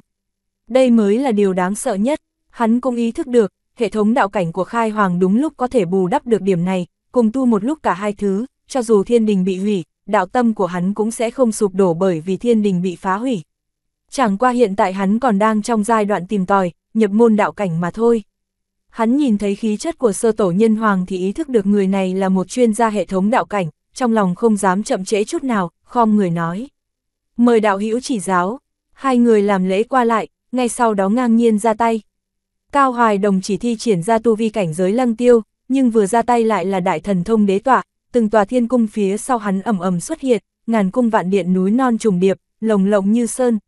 Hắn biết rõ hệ thống đạo cảnh mạnh mẽ, nhất trọng đạo cảnh nhất trọng thiên, nhất trọng thiên nhất trọng thần thông, nếu cẩn thận thăm dò từng ly từng tí, chờ đối phương thi triển ra đạo cảnh cao thâm, chỉ sợ bản thân sẽ nuốt hận mà kết thúc. Sơ tổ nhân hoàng vẫn như trước đó, thoạt nhìn bình tĩnh thong dong, hai tay một cong một móc, cảnh tượng lập tức một vùng long trời lở đất, mà hắn đứng ở giữa trời đất sụp đổ tựa như trụ cột vững vàng. Thiên địa tâm thánh quyết, thần thông của hắn là một lạc ấn của thời đại, mà thời đại đó là thời đại thoái trào, là thời đại quần ma loạn vũ, cũng là thời đại long trời lở đất. Hắn muốn vì thiên địa lập tâm, vì dân lập mệnh. Thần thông hai người va chạm, Cao Hoài Đồng lập tức cảm nhận được mình như đang dấn thân bên trong một trận đại nạn triều dâng sóng dậy, thần thông của bản thân tấn công ra biến thành một phần thiên địa sụp đổ của đối phương, trở thành một thứ trợ lực cho thần thông của đối phương. Thiên địa tâm thánh quyết của sơ tổ chính là một môn công pháp và thần thông như thế đó. Khi hắn còn tuổi nhỏ sức yếu, ở trong loạn thế chỉ có sức mạnh to lớn như thiên địa sụp đổ mới có khả năng chống lại kẻ địch, bất kể công kích gì của kẻ địch đều sẽ hóa thành một phần sức mạnh của hắn. Trong chiến đấu, môn công pháp thần thông này sẽ càng đánh càng mạnh, càng đánh càng hăng. Dù gì Cao Hoài Đồng cũng là tồn tại cảnh giới đế tọa, hắn ý thức được điểm này thì lập tức thay đổi thần thông, thét dài một tiếng. Tiên thiên nhất khí, hắn biến đổi thần thông cho người ta một loại cảm giác như vạn đạo hội tụ, tiến quân thần tốc, khiến sơ tổ nhân hoàng không có sức mạnh có thể mượn được. Vẻ mặt tần mục khẽ lay động, ánh mắt nhìn về phía Yến Khấp Linh. Yến Khấp Linh đã từng thi triển thần thông cùng loại, chắc hẳn là thần thông do đại đại của bản thân thiên đế hóa thành. Có lẽ thứ cảm giác mà tiên thiên nhất khí này mang lại cho tần mục là bản lĩnh thực sự của thiên đế. Nhưng mà làm gì có chuyện thiên đế truyền thụ bản lĩnh thực sự cho Cao Hoài Đồng và Yến Khấp Linh được cơ chứ? Thứ hiểu thiên tôn truyền thụ cho bọn họ, hẳn là một bản khuyết thiếu. Thế nhưng cũng không thể coi thường, tần mục thầm nghĩ, nếu như là hiểu thiên tôn tự mình thi triển tiên thiên nhất khí, sức mạnh cỡ này. Trong lòng hắn nghiêm nghị, chỉ sợ hiểu thiên tôn sẽ là nhân vật mạnh nhất trong 10 thiên tôn. Thần thông của Cao Hoài Đồng hết sức bá đạo, hắn lập tức phá vỡ thần thông của sơ tổ, cùng lúc đó thần thông sơ tổ lại thay đổi, không còn mượn sức mạnh trời đất sụp đổ nữa, thay vào đó đạo tâm hệt như lửa bỏng dầu sôi, cũng hệt như đốm lửa nhỏ thiêu rụi cả cánh đồng. Đạo tâm của hắn biến hóa, thần thông cũng theo đó mà biến hóa chương 1330 tiên thiên nhất khí khai. Hắn am hiểu ấn pháp, đã nhập đạo sớm hơn khai hoàng kiếp hai vạn năm, mà bây giờ cảnh giới nhập đạo của hắn đã sâu hơn.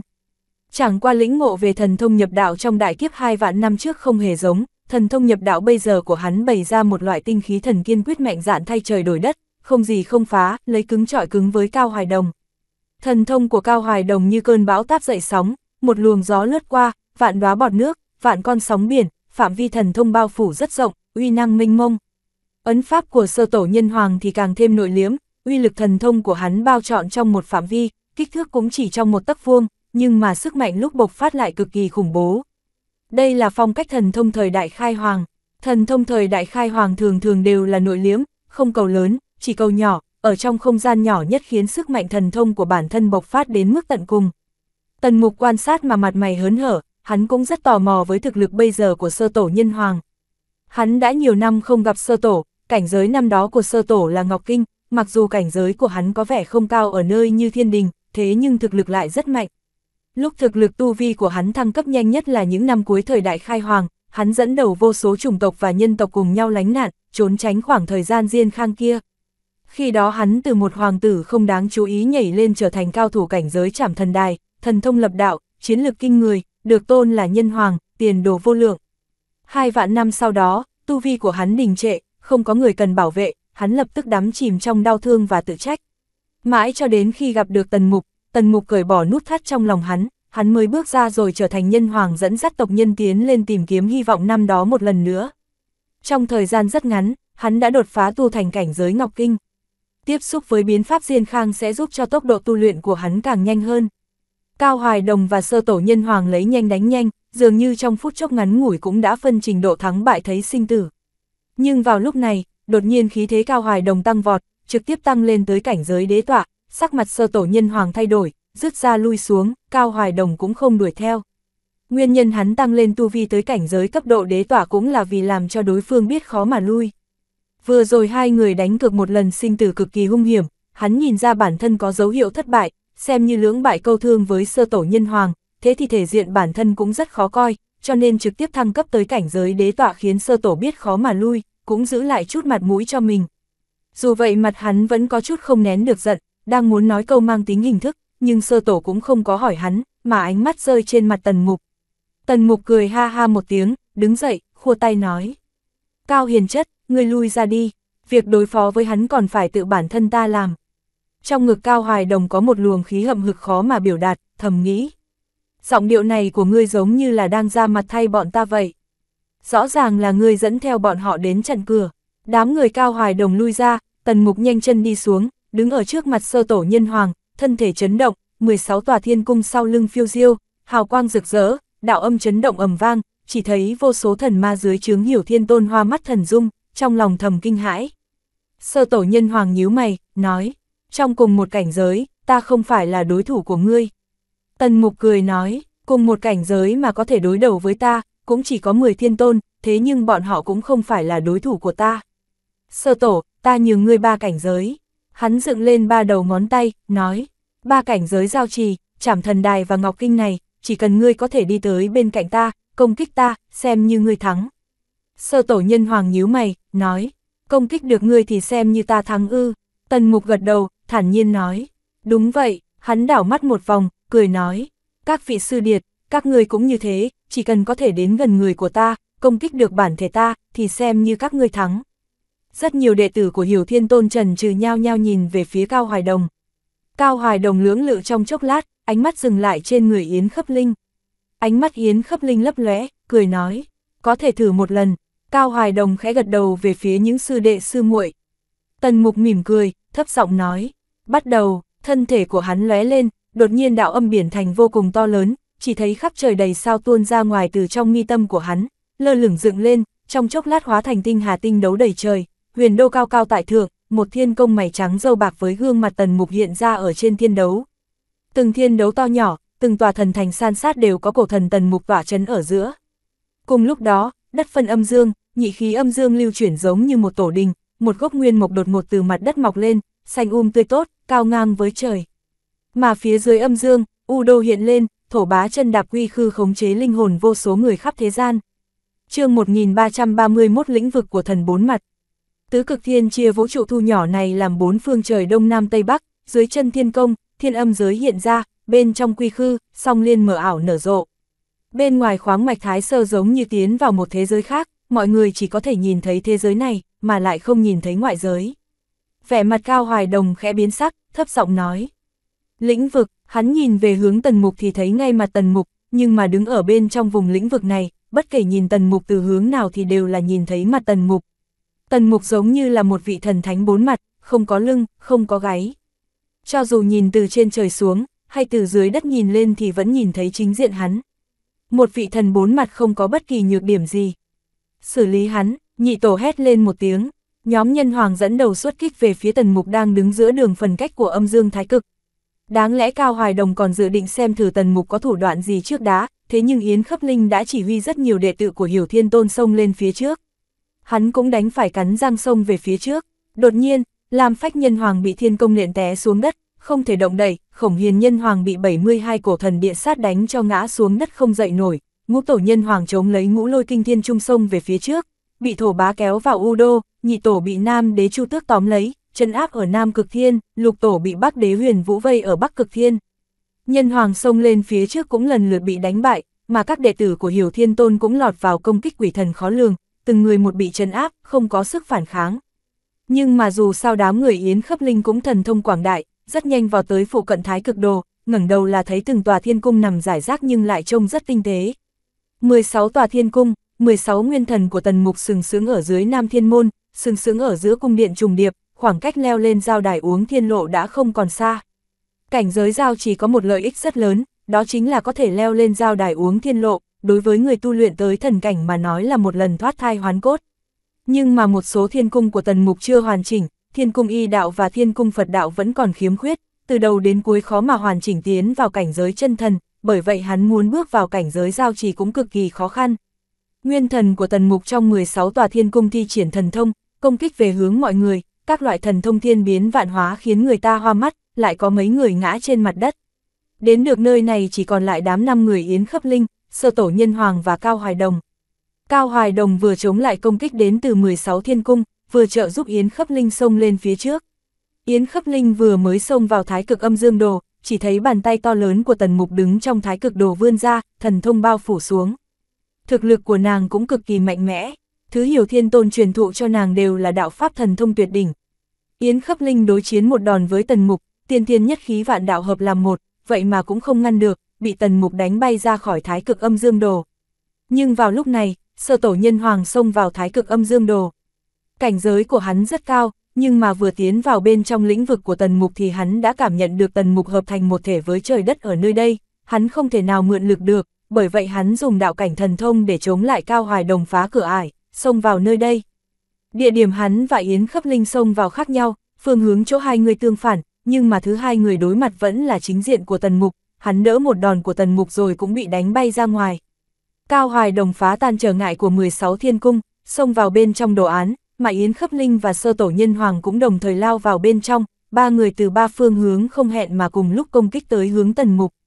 Bên trên thái cực đồ, ba bóng người động tác mau lẹ, thân hình, phương hướng, không ngừng biến hóa khiến người ta hoa cả mắt, nhưng từ đầu tới cuối không thể tới gần bên cạnh.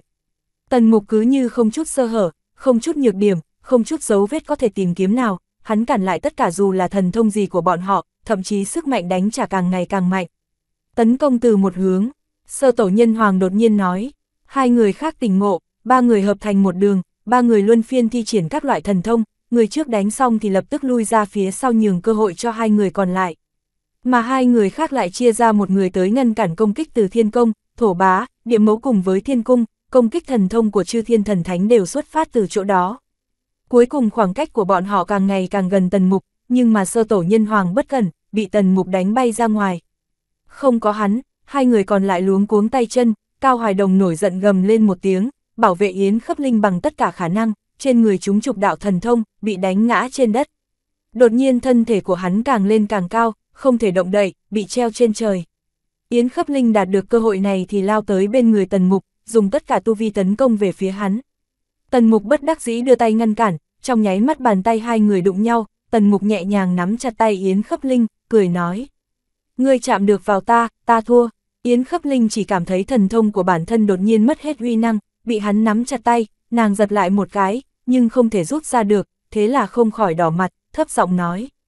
Buông tay, bọn họ còn đang nhìn, chương 1332 thuốc không chết người.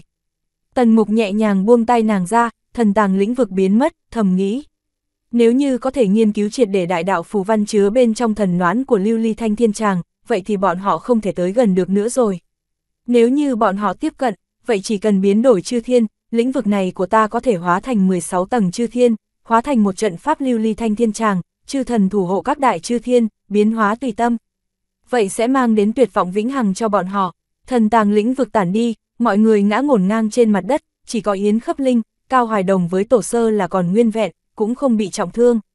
Tần Mục vỗ tay một cái, cười nói, loại giao lưu này, chúng ta nên thường xuyên tổ chức một hai lần, mọi người đều rất vui.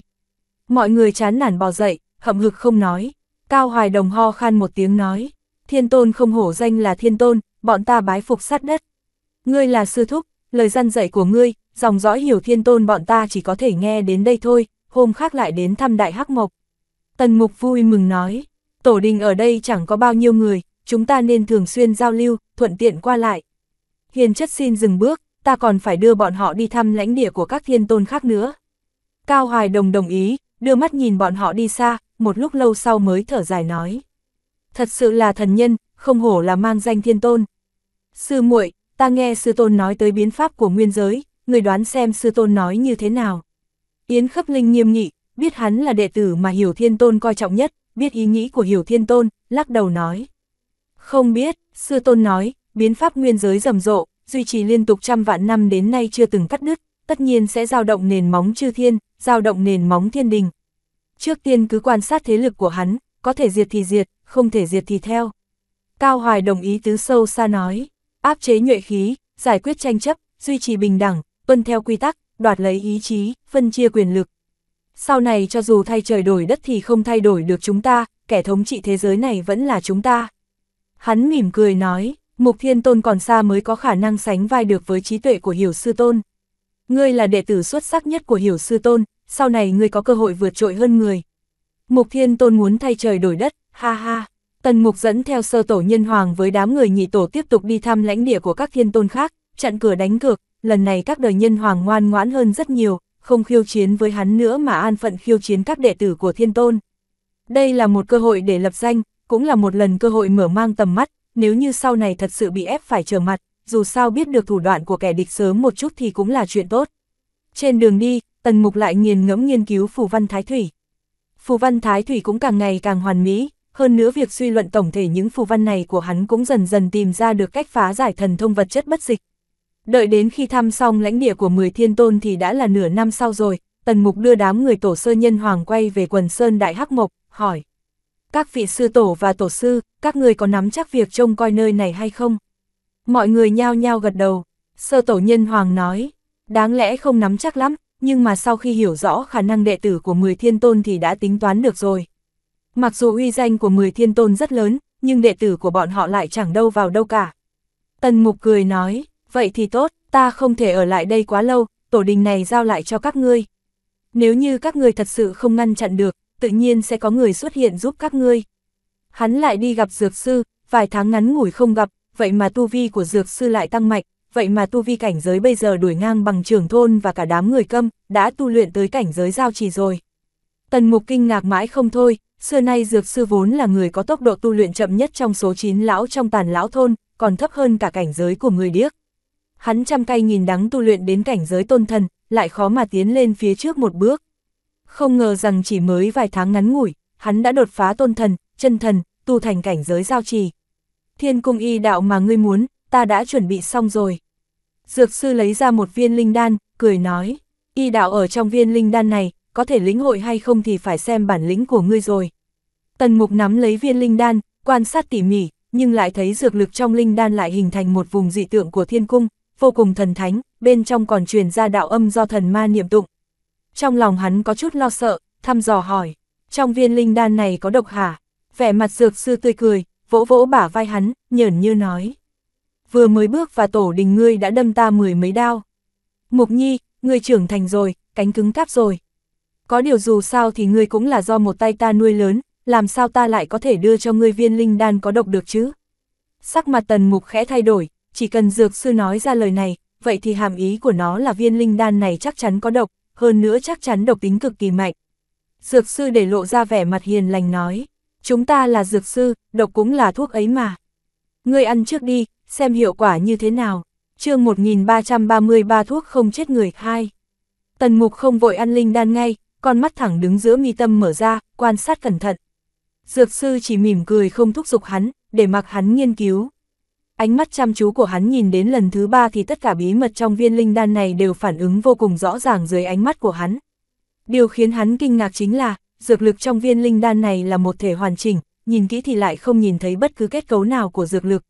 Càng kỳ lạ hơn chính là, dược lực bên trong linh đan kết thành đủ loại đồ án phù văn đại đạo, chính những hoa văn phù văn này đã chiếu dọi ra dị tưởng thiên cung. Trong linh đan có một tòa thiên cung, đây cũng là lần đầu tiên Tần Mục nghe nói đến chuyện như này. Hơn nữa cùng với biến hóa rất nhỏ của dược lực, đồ án phù văn trong viên linh đan cũng biến hóa theo khiến cho người khác không thể đoán được. Tần Mục đi theo dược sư tu hành, học tập y đạo độc dược, cũng có thể coi là có thành tích, chỉ có điều từ khi hắn tu luyện thần thức tam nguyên thần bất diệt với vô lậu tạo hóa huyền công, hắn bèn bỏ bê tiếp tục thăng cấp y đạo độc dược. Trình độ của dược sư ở trên y đạo độc đạo đã đạt đến trình độ y độc hợp thành một, y đạo và độc đạo bổ trợ cho nhau. Hiện tại hắn đã đến bước nào rồi, tần mục cũng không thể nào nhìn thấu được. Thậm chí rốt cuộc dược lực của viên linh đan này là y hay là độc, hắn cũng không thể nhìn thấu được. Dược sư cười lớn, gương mặt tần mục biến sắc, hắn nuốt viên linh đan vào bụng thì lập tức cảm nhận được một luồng dược lực điên cuồng không gì sánh được đang bộc phát ra. Trong khoảnh khắc dược lực bộc phát, hắn cảm nhận được một loại kịch độc có thể tiêu diệt hết tất cả trong nháy mắt bao phủ toàn thân, tất cả nguyên khí của hắn tan rã như tuyết. Không chỉ có nguyên khí không ngăn chặn được, cho dù là thần thức cũng không ngăn chặn nổi, dần tan chảy ra. Toàn thân của hắn bắt đầu tê dại, mất đi cảm giác. Cùng lúc đó, phù văn đại đạo của hắn cũng bắt đầu tan rã, quần tinh trong linh thai thần tàng ảm đạm, tinh lực càng ngày càng yếu ớt. Tất cả hư ảnh cổ thần bên trong thần tàng của hắn đều không còn thần lực ban đầu, thần lực đã bị kịch độc hòa tan mất rồi, quầng sáng sau đầu chư thần loang lổ vết dì xét, không còn thần thái, từ từ ngừng chuyển động. Thân thể của cổ thần mục nát, tan rã, tràn ngập mùi hôi thối. Trong lòng tần mục kinh hãi, lập tức định lấy thạch thần thái cực ra thúc dục âm dương thái cực đồ bên trong thần tàng, không ngờ thân thể lại hoàn toàn không nghe theo sự chỉ huy của hắn, cơ bắp hoàn toàn mất đi khống chế. Tần mục cảm thấy bản thân mình giống một đống bùn nhão, bất cứ lúc nào cũng có thể biến thành một bãi nước ngủ. Thứ mà hắn không bị hòa tan là linh thai nguyên thần với thái cực đồ của hắn, còn có thiên cung đã hoàn chỉnh. Ái trà, dược sư tiến lên phía trước, quan sát hắn tỉ mỉ, khẽ ồ lên một tiếng khen ngợi. Mục nhi, người thực sự lợi hại, vậy mà viên linh đan này của ta không ăn mòn mất tu vi của ngươi, còn để ngươi giữ nguyên nguyên thần. Ta còn tưởng rằng có thể làm mất tất cả thiên cung của ngươi, sau đó dùng tu vi của ngươi xây dựng lại thiên cung, thể hiện rõ ràng khả năng tái tạo hùng vĩ của thiên cung y. Đạo, hắn cao mày, mục đích của hắn là thiên cung y đạo đè ép các thiên cung cùng bậc khác, để tần mục. Cải tà quy chính, đi theo hắn tu luyện y đạo. Chẳng qua hắn không ngờ rằng, trình độ khả năng của tần mục lại mạnh mẽ tới như vậy, thậm chí linh đan đại độc hắn luyện ra cũng không thể hòa tan hết thiên cung của tần mục. Ta nên luyện cho nó mạnh hơn một chút, nhưng nếu như mạnh quá, mục nhi sẽ bị độc chết mất. Dược sư tiến lên đỡ tần mục ngồi xuống, cười nói. Mục nhi, người yên tâm, ta tự có chừng mực, sẽ không làm loạn. Độc này của ta khiến nguyên khí, thần thức trong cơ thể ngươi hóa thành chân nguyên thuần túy, chỉ cần thêm chút thủ đoạn là có thể để chân nguyên hóa thành thiên cung y đạo. Nguy rồi, vẻ mặt dược sư biến sắc, hai mắt tần mục đã mất đi khống chế, chỉ có mắt dọc ở mi tâm khinh bỉ thầm nói. Từ nhỏ đến lớn người đều mang ta ra để thử thuốc, có lần nào không nguy hiểm không?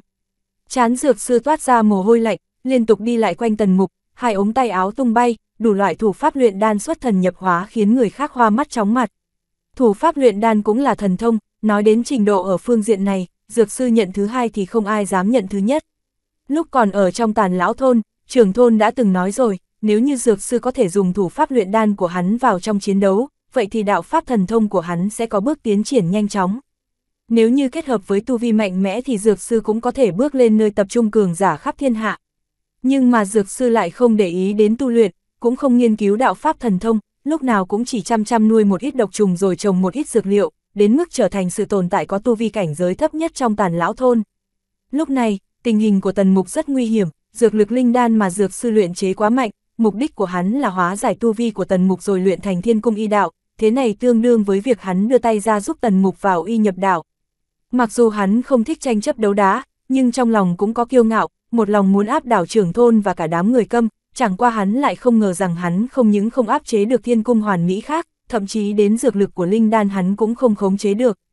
chương 1334 thiên cung y đạo. Bước chân của dược sư như bay, vòng vòng chuyển động xoay quanh tần mục, thủ pháp luyện đan thiên biến vạn hóa càng lúc càng nhanh. Mồ hôi trên trán đầm đìa, còn chưa kịp rơi xuống đã bốc hơi thành khí trắng bay lên, hắn coi tần mục như là lò đan, dược lực trong cơ thể tần mục thành dược liệu, muốn luyện tần mục thành một linh đan.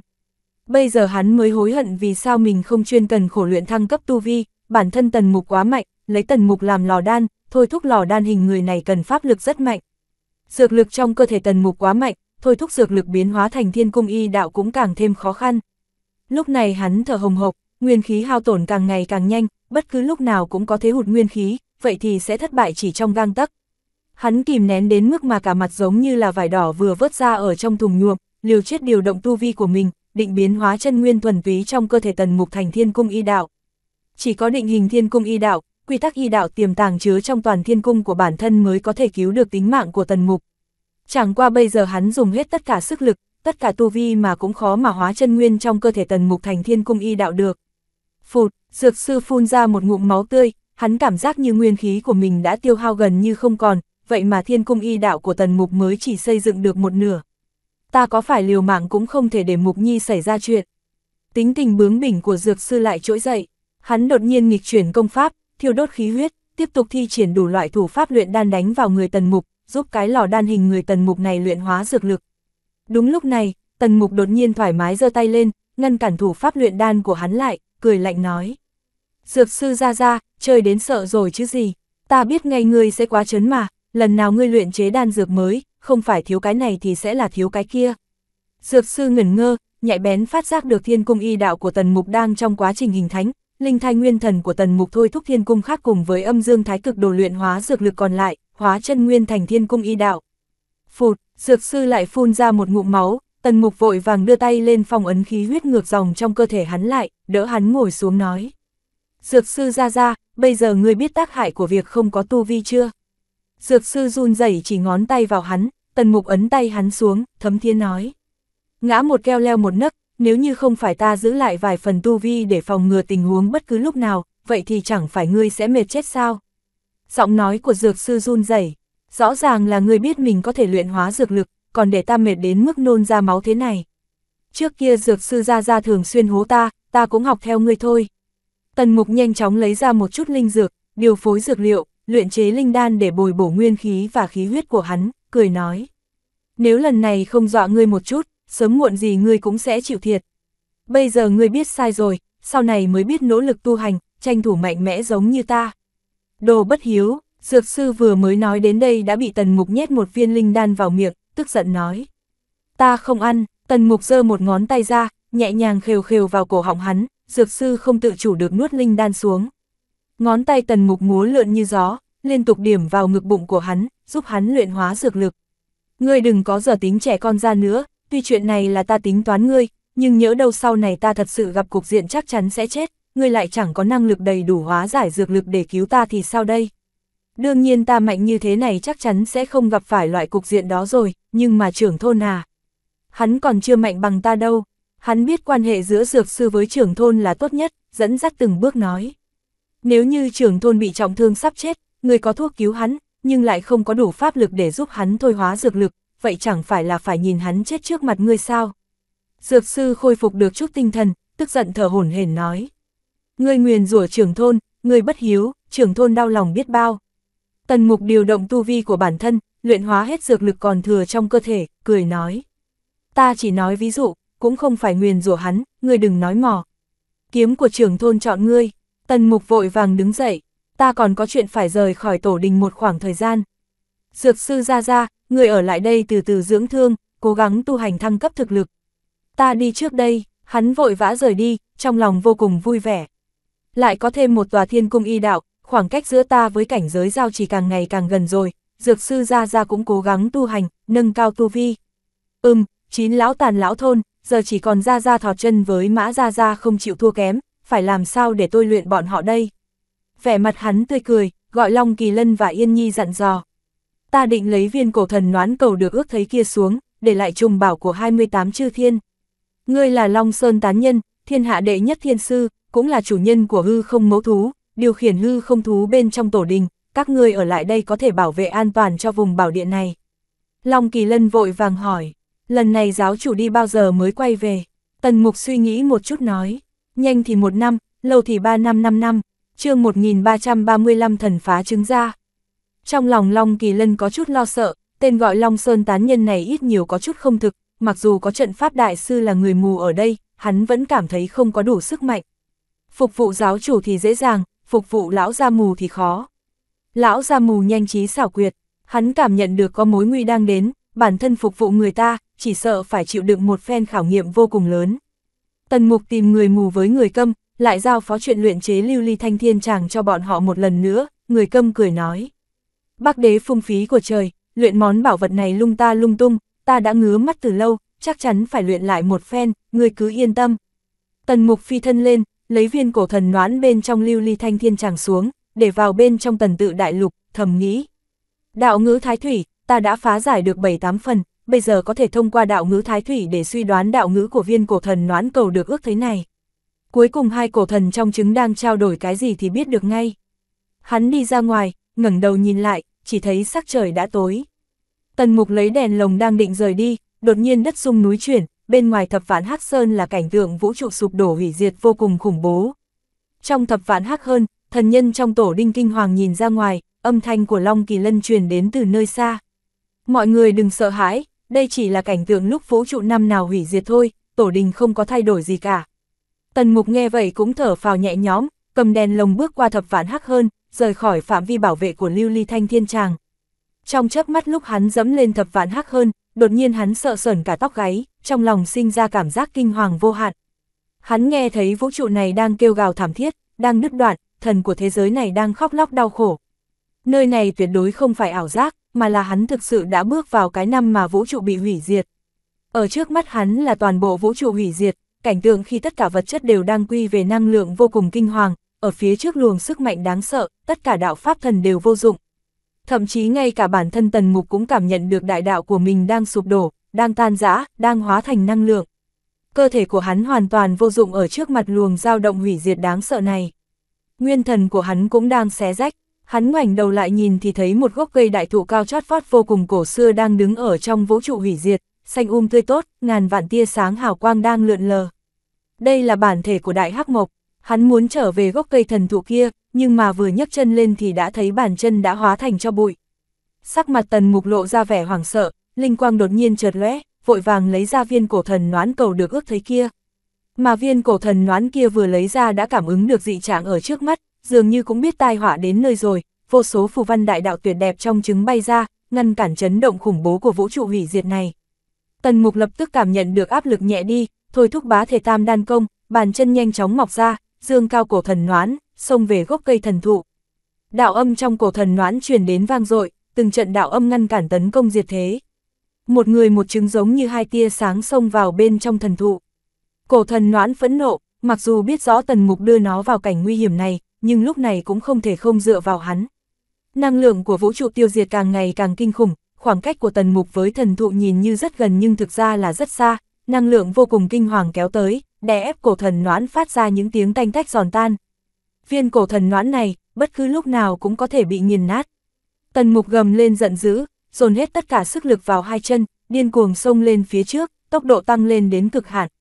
Hắn cảm giác như không gian không còn tồn tại nữa, ở trong tốc độ nhanh đến cực hạn này, không có cái gọi là không gian, không có cái gọi là thời gian. Cuối cùng hắn cũng đã xông đến dưới gốc thần thụ, mà lúc này, một luồng năng lượng hủy diệt trời đất chấn động kéo tới, nghiền nát khu vực bình yên mà cổ thần noãn đang chống đỡ, nghiền đến mức viên cổ thần noãn nổ đùng đùng, từng mảnh vỏ trứng vỡ vụn từ bốn phương tám hướng bay ra, thậm chí còn bắn lên mặt của tần mục. Hắn vung một tia sức lực cuối cùng xông về phía gốc thần thụ, hai tay dương cao một mảnh vỏ trứng lớn, thần quang mút trời bên trong vỏ trứng chiếu lên thần thụ rất nhiều màu. Trong khoảnh khắc lúc hắn vừa mới xông đến dưới gốc thần thụ, đất trời đột nhiên u ám, giống như là từ một vũ trụ bước vào vũ trụ khác vậy. Tần mục thở phào nhẹ nhõm, trong lòng biết rằng mình đã quay trở về Đại Hắc Sơn rồi, hai chân mềm nhún, bước chân lảo đảo tiếp tục xông về phía trước cả trăm dặm mới có thể ngừng lại. Đột nhiên hắn chỉ cảm thấy hai tay nhẹ bấng, vội vàng ngẩng đầu nhìn lên, chỉ thấy bên trong nửa vỏ quả trứng này trống không, chỉ còn lại chút dịch trứng, còn cổ thần bên trong quả trứng thì đã không cánh mà bay. Tần mục ôm lấy vỏ trứng to lớn cùng ít dịch trứng này, trong lòng ngạc nhiên vội vàng nhìn xuống bốn phía, nhưng lại không thấy bóng dáng của cổ thần. Rốt cuộc thì cổ thần này là ở vũ trụ trước, hay là thừa dịp lúc ta trốn về cũng đã chạy đi rồi. Tần mục định thần lại, trong lòng mơ hồ có chút bất an. chương 1336 thần phá trứng ra 2. Nếu như cổ thần ở lại vũ trụ trước, vậy chắc chắn đã bị chôn vùi cùng với vũ trụ kia, chết không còn xác rồi. Nếu như nó cùng chạy trốn quay về cùng với mình, vậy thì chắc chắn sẽ ghi hận việc mình suýt chút nữa thì mang theo nó cùng mất mạng, hơn nữa nó còn chưa trưởng thành đã bị ép xuất thế, bất kể là đạo hạnh hay là thực lực đều kém hơn rất nhiều so với thể trưởng thành. Kết thù lớn rồi, hắn vô cùng lo lắng, hắn liều mình như vậy để tìm hiểu phù văn đại đạo của Thái Thủy Noãn, ngoài để giải cứu Lăng Thiên Tôn và Ngụy Tùy Phong ra, hắn còn muốn biết vị cổ thần này với Thái Thủy đang nói với nhau những chuyện gì. Bây giờ mặc dù hắn đã phá hủy phù văn đại đạo Thái Thủy, nhưng mà cổ thần cầu được ước thấy bên trong trứng lại trốn thoát rồi, hơn nữa còn kết thù lớn như vậy, chỉ sợ sau này sẽ tìm cớ gây sự. Chỉ mong nó đã chết ở vũ trụ trước, ái trà, dịch trứng này thơm quá. Đột nhiên tần mục thèm nhỏ dãi, bưng vỏ trứng lớn lên, dè dặt nếm thử một miếng. Thơm quá, chẳng trách vị cổ thần này lại không muốn chui ra khỏi trứng. Hỏng bét, một miếng này hơi nhiều, hình như không luyện hóa được rồi. Ngày hôm sau, sắc trời tảng sáng, bầu trời bên ngoài thập vạn hắc sơn sóng yên biển lặng, cuộc phá hủy trời đất khủng bố dần biến mất, tất cả tổ đình vẫn như thường không có bất kỳ biến hóa nào. Tần mục ôm bụng, nhíu chặt lông mày, đêm qua hắn hút một ngụm dịch trứng, bây giờ bụng nặng trình trịch, càng ngày càng không thoải mái. Trong bụng lúc thì giống như là có thiên hà sôi sục mãnh liệt, lúc thì giống như có cự thú rời sông lấp biển, lúc lại vô cùng nặng nề giống như mang thêm hàng trăm ngọn núi tu di, có lúc lại giống như ẩn giấu mặt trời nướng lục phủ ngũ tạng hắn như là than. Dường như một ngụm dịch trứng kia có thể biến hóa thành vô số loại hình thái trong cơ thể hắn, căn bản không có cách nào tiêu hóa được. Hắn có thể cảm giác được có năng lượng vô cùng sôi trào cuồn cuộn trong dịch trứng, nhưng mà không những không thể luyện hóa, trái lại còn trở thành gánh nặng của hắn. Sau này không thể ăn mấy thứ linh tinh được, dịch trứng này còn độc hơn cả linh đan của dược sư ra ra nữa, nhưng mà thơm quá. Chán tần mục toát ra mồ hôi lạnh, đang muốn đi đến tổ đình, đột nhiên nhìn thấy một ngọn núi nứt ra, có một nữ tử trẻ tuổi diện mạo xinh đẹp xách một thùng nước đi đến đỉnh núi bên này. Tim tần mục chợt lệch một nhịp, làm lễ chào hỏi nói. Thái dịch đạo huynh, nữ tử kia chính là thái dịch, nhìn thấy hắn không khỏi lắc đầu nói. Đạo hữu tối qua ngươi tới vũ trụ đấy à, Ngươi cũng gan dạ thật đấy, thế mà lại dám bước ra khỏi đại hắc sơn lúc trời tối. Cũng bởi vì duyên cớ của ngươi mà Thái Tố cũng xuất thế trước, nhân quả ngươi kết với nàng ta quả thật không nhỏ. Tần mục cố nén đau bụng kịch liệt nói, đạo huynh có biết nó trốn ở đâu không? Nữ tử lắc đầu đáp, ta biết, nhưng ta không thể nói cho ngươi, ngươi mưu đồ làm loạn. Tần mục cau mày, nữ tử kia cười nói, ngươi ăn dịch trứng của nàng, đó là thứ của nàng khi thành đạo, nhân quả này lại càng sâu hơn rồi. Tần mục khiêm tốn thỉnh giáo hỏi, hóa giải đoạn ân oán này như thế nào? Không hóa giải được, nữ tử lắc đầu nói. Vốn dĩ bởi lẽ chuyện thái tổ xuất thế mà trong lòng nàng luôn tồn tại hoài nghi, hơn nữa còn bị tạo vật chủ đào ra, cho nên không có tín nhiệm đối với bất kỳ ai cả.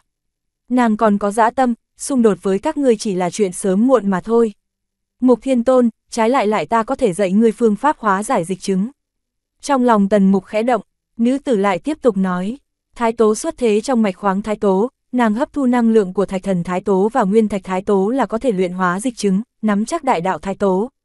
Ngươi dùng thạch thần thái tố là có thể hóa giải năng lượng ở bên trong dịch chứng rồi. Tần mục cúi người cảm tạ, nữ tử kia cười nói. Ta cũng vì nghĩ cho tương lai nên mới chỉ điểm cho ngươi. Hơn nữa ta cũng đã chiếm hời của ngươi rồi, cho dù ta không nói cho ngươi thì ngươi cũng nhanh chóng biết được tác dụng của thạch thần thái tố thôi. Dứt lời, nàng xách thùng nước đi về phía vết nứt bên trên hắc sơn. Long Kỳ Lân và Yên Nhi đã đến đó, nhìn thấy Tần Mục vẫn còn ở trong thập vạn hắc sơn, Long Kỳ Lân vội vàng chạy đến, Tần Mục phân phó. Khuyên bảo tất cả mọi người, tuyệt đối không được ra ngoài vào ban đêm, nếu không thì hẳn là sẽ chết không thể nghi ngờ. Nhớ kỹ, nhớ kỹ, Long Kỳ Lân giật nảy mình, kêu thất thanh, giáo chủ, người đi ra ngoài ban đêm ư, sắc mặt Tần Mục ửng đỏ nói, đừng hỏi, Long Kỳ Lân nhìn chằm chằm vào bóng người hắn đã đi xa, thầm nghĩ. Chuyện ban đêm không thể đi ra ngoài, ta đã nói với tất cả mọi người từ lâu rồi, ngay cả cái tên nghịch ngợm Giang Vân Gian kia cũng không đi ra ngoài. Chỉ có tên hay tò mò như giáo chủ, sau khi nhìn thấy khủng bố vũ trụ hủy diệt mà còn dám hấp tấp chạy ra ngoài. Mạch khoáng thái tố, hẳn là mạch khoáng kia của nữ tân thị, địa bàn của cung thiên tôn. Tần mục trầm ngâm, lấy khối thạch thần thái tố mà cung thiên tôn đưa cho, thưởng thức một phen. Khối thạch thần này hình lập phương, chẳng qua bên trong đó mỗi giờ mỗi khắc đều đang biến hóa, nội không ra nội, ngoại không ra ngoại, phân chia nội ngoại trở nên mơ hồ. Trước kia đi vào tổ đình, tần mục lấy lưu ly thanh thiên chàng cắm trên đầu hư không thú, nơi đầu tiên hư không thú tới chính là mạch khoáng thái tố. Cũng tức là nói, chắc hẳn khối thạch thần này phải gọi là thạch thần thái tố, thần noãn bên trong lưu ly thanh thiên chàng thì gọi là thần noãn thái tố. Mục đích của thần noãn thái tố chính là mạch khoáng thái tố, có được thạch thần với nguyên thạch ở trong mạch khoáng, nàng mới có thể luyện hóa dịch chứng, thuận lợi xuất thế chương 1337 thần nữ Thái Tố. Cung Thiên Tôn đã đồng ý với ta rằng sẽ chia một phần thạch thần Thái Tố cho ta. Vốn dĩ ta còn đồng ý với nàng sẽ thăm dò bí ẩn của thạch thần Thái Tố, có điều bây giờ đã hút mất một ngụm dịch chứng, chỉ sợ không có cách nào nghiên cứu công dụng của thạch thần Thái Tố nữa. Hắn nắm chặt thạch thần, thử hấp thu sức mạnh bên trong thạch thần, không ngờ khối thạch thần nhìn như không có bất kỳ vật chất nào, vậy mà chui vào cánh tay của hắn, xuôi theo cánh tay nhanh chóng chui vào trong bụng, trong lòng tần mục kinh ngạc, ngụm dịch trứng bên trong bụng hắn vẫn đang thay đổi thất thường như cũ, nhưng thạch thần thái tố vừa đến thì lập tức xảy ra một cảnh tượng kỳ diệu. Dịch chứng thiên biến vạn hóa, mà thạch thần thái tố cũng đang biến hóa đối lập với dịch chứng. Hai cái này mỗi cái biến hóa một lần, tần mục lập tức cảm giác được một loại đạo vận mơ hồ vô cùng huyền diệu từ đáy lòng vang lên, một luồng sức mạnh hoàn hảo ập tới, thông suốt khắp toàn thân, thông suốt thần tàng, thiên cung. Không chỉ có vậy, nguyên thần của hắn cũng đột nhiên bắt đầu biến hóa hư hư thực thực, lúc thì đông cứng thành thực chất, lúc thì hư vô. Thạch thần thái tố đang từ từ thu nhỏ, dịch chứng cũng càng ngày càng ít, dần dần, tần mục cũng hiểu một chút về đạo thái tố. Thái tố này cũng là khởi đầu của chất, là quá trình năng lượng chuyển biến thành vật chất, từ có hình trở thành có chất. Năng lượng hóa thành vật chất có hình, vì vậy mới có thể cầu được ước thấy. Bởi vì mọi người đều muốn thần noãn thái tố, cầu xin khả năng biến hóa bên trên vật chất, vì thế thần noãn thái tố có thể làm được cầu được ước thấy. Điều này không giống đạo thái thủy, tần mục nghiên cứu thái thủy noãn, đạo thái thủy cũng có không ít thành tựu với đạo thái thủy. Đạo thái thủy là phương pháp hóa năng lượng thành hữu hình vô chất, không có vật chất, bởi vậy có thể phá giải được vật chất của lăng thiên tôn là thần thông bất dịch. Đạo thái sơ, chắc hẳn là tiên thiên nhất khí, chỉ có năng lượng không có vật chất, tiên thiên nhất khí là cương lĩnh chung của tất cả đại đạo tiên thiên, vì thế Thái Sơ vừa xuất thế thì đã là lãnh tụ của tất cả cổ thần, trở thành cổ thần thiên đế là lẽ đương nhiên. Chẳng qua hắn bị Thái đế làm dơ bẩn, cho nên không đạt được hình thái hoàn mỹ.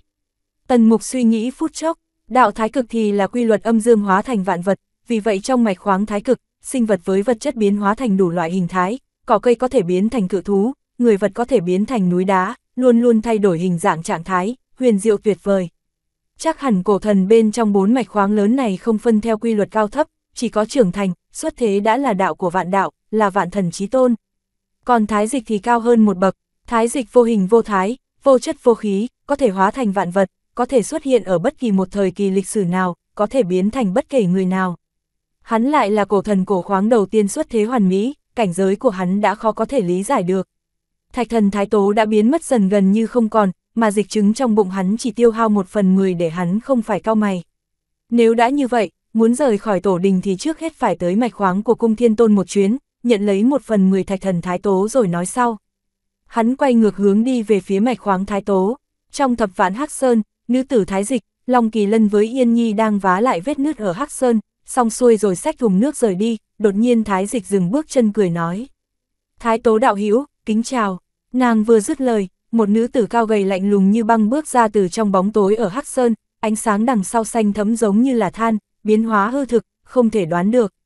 Chẳng qua ánh sáng đại đạo của nàng cũng không hoàn chỉnh, khiếm khuyết rất lớn, ở đây thiếu một phần, ở kia thiếu một đoạn.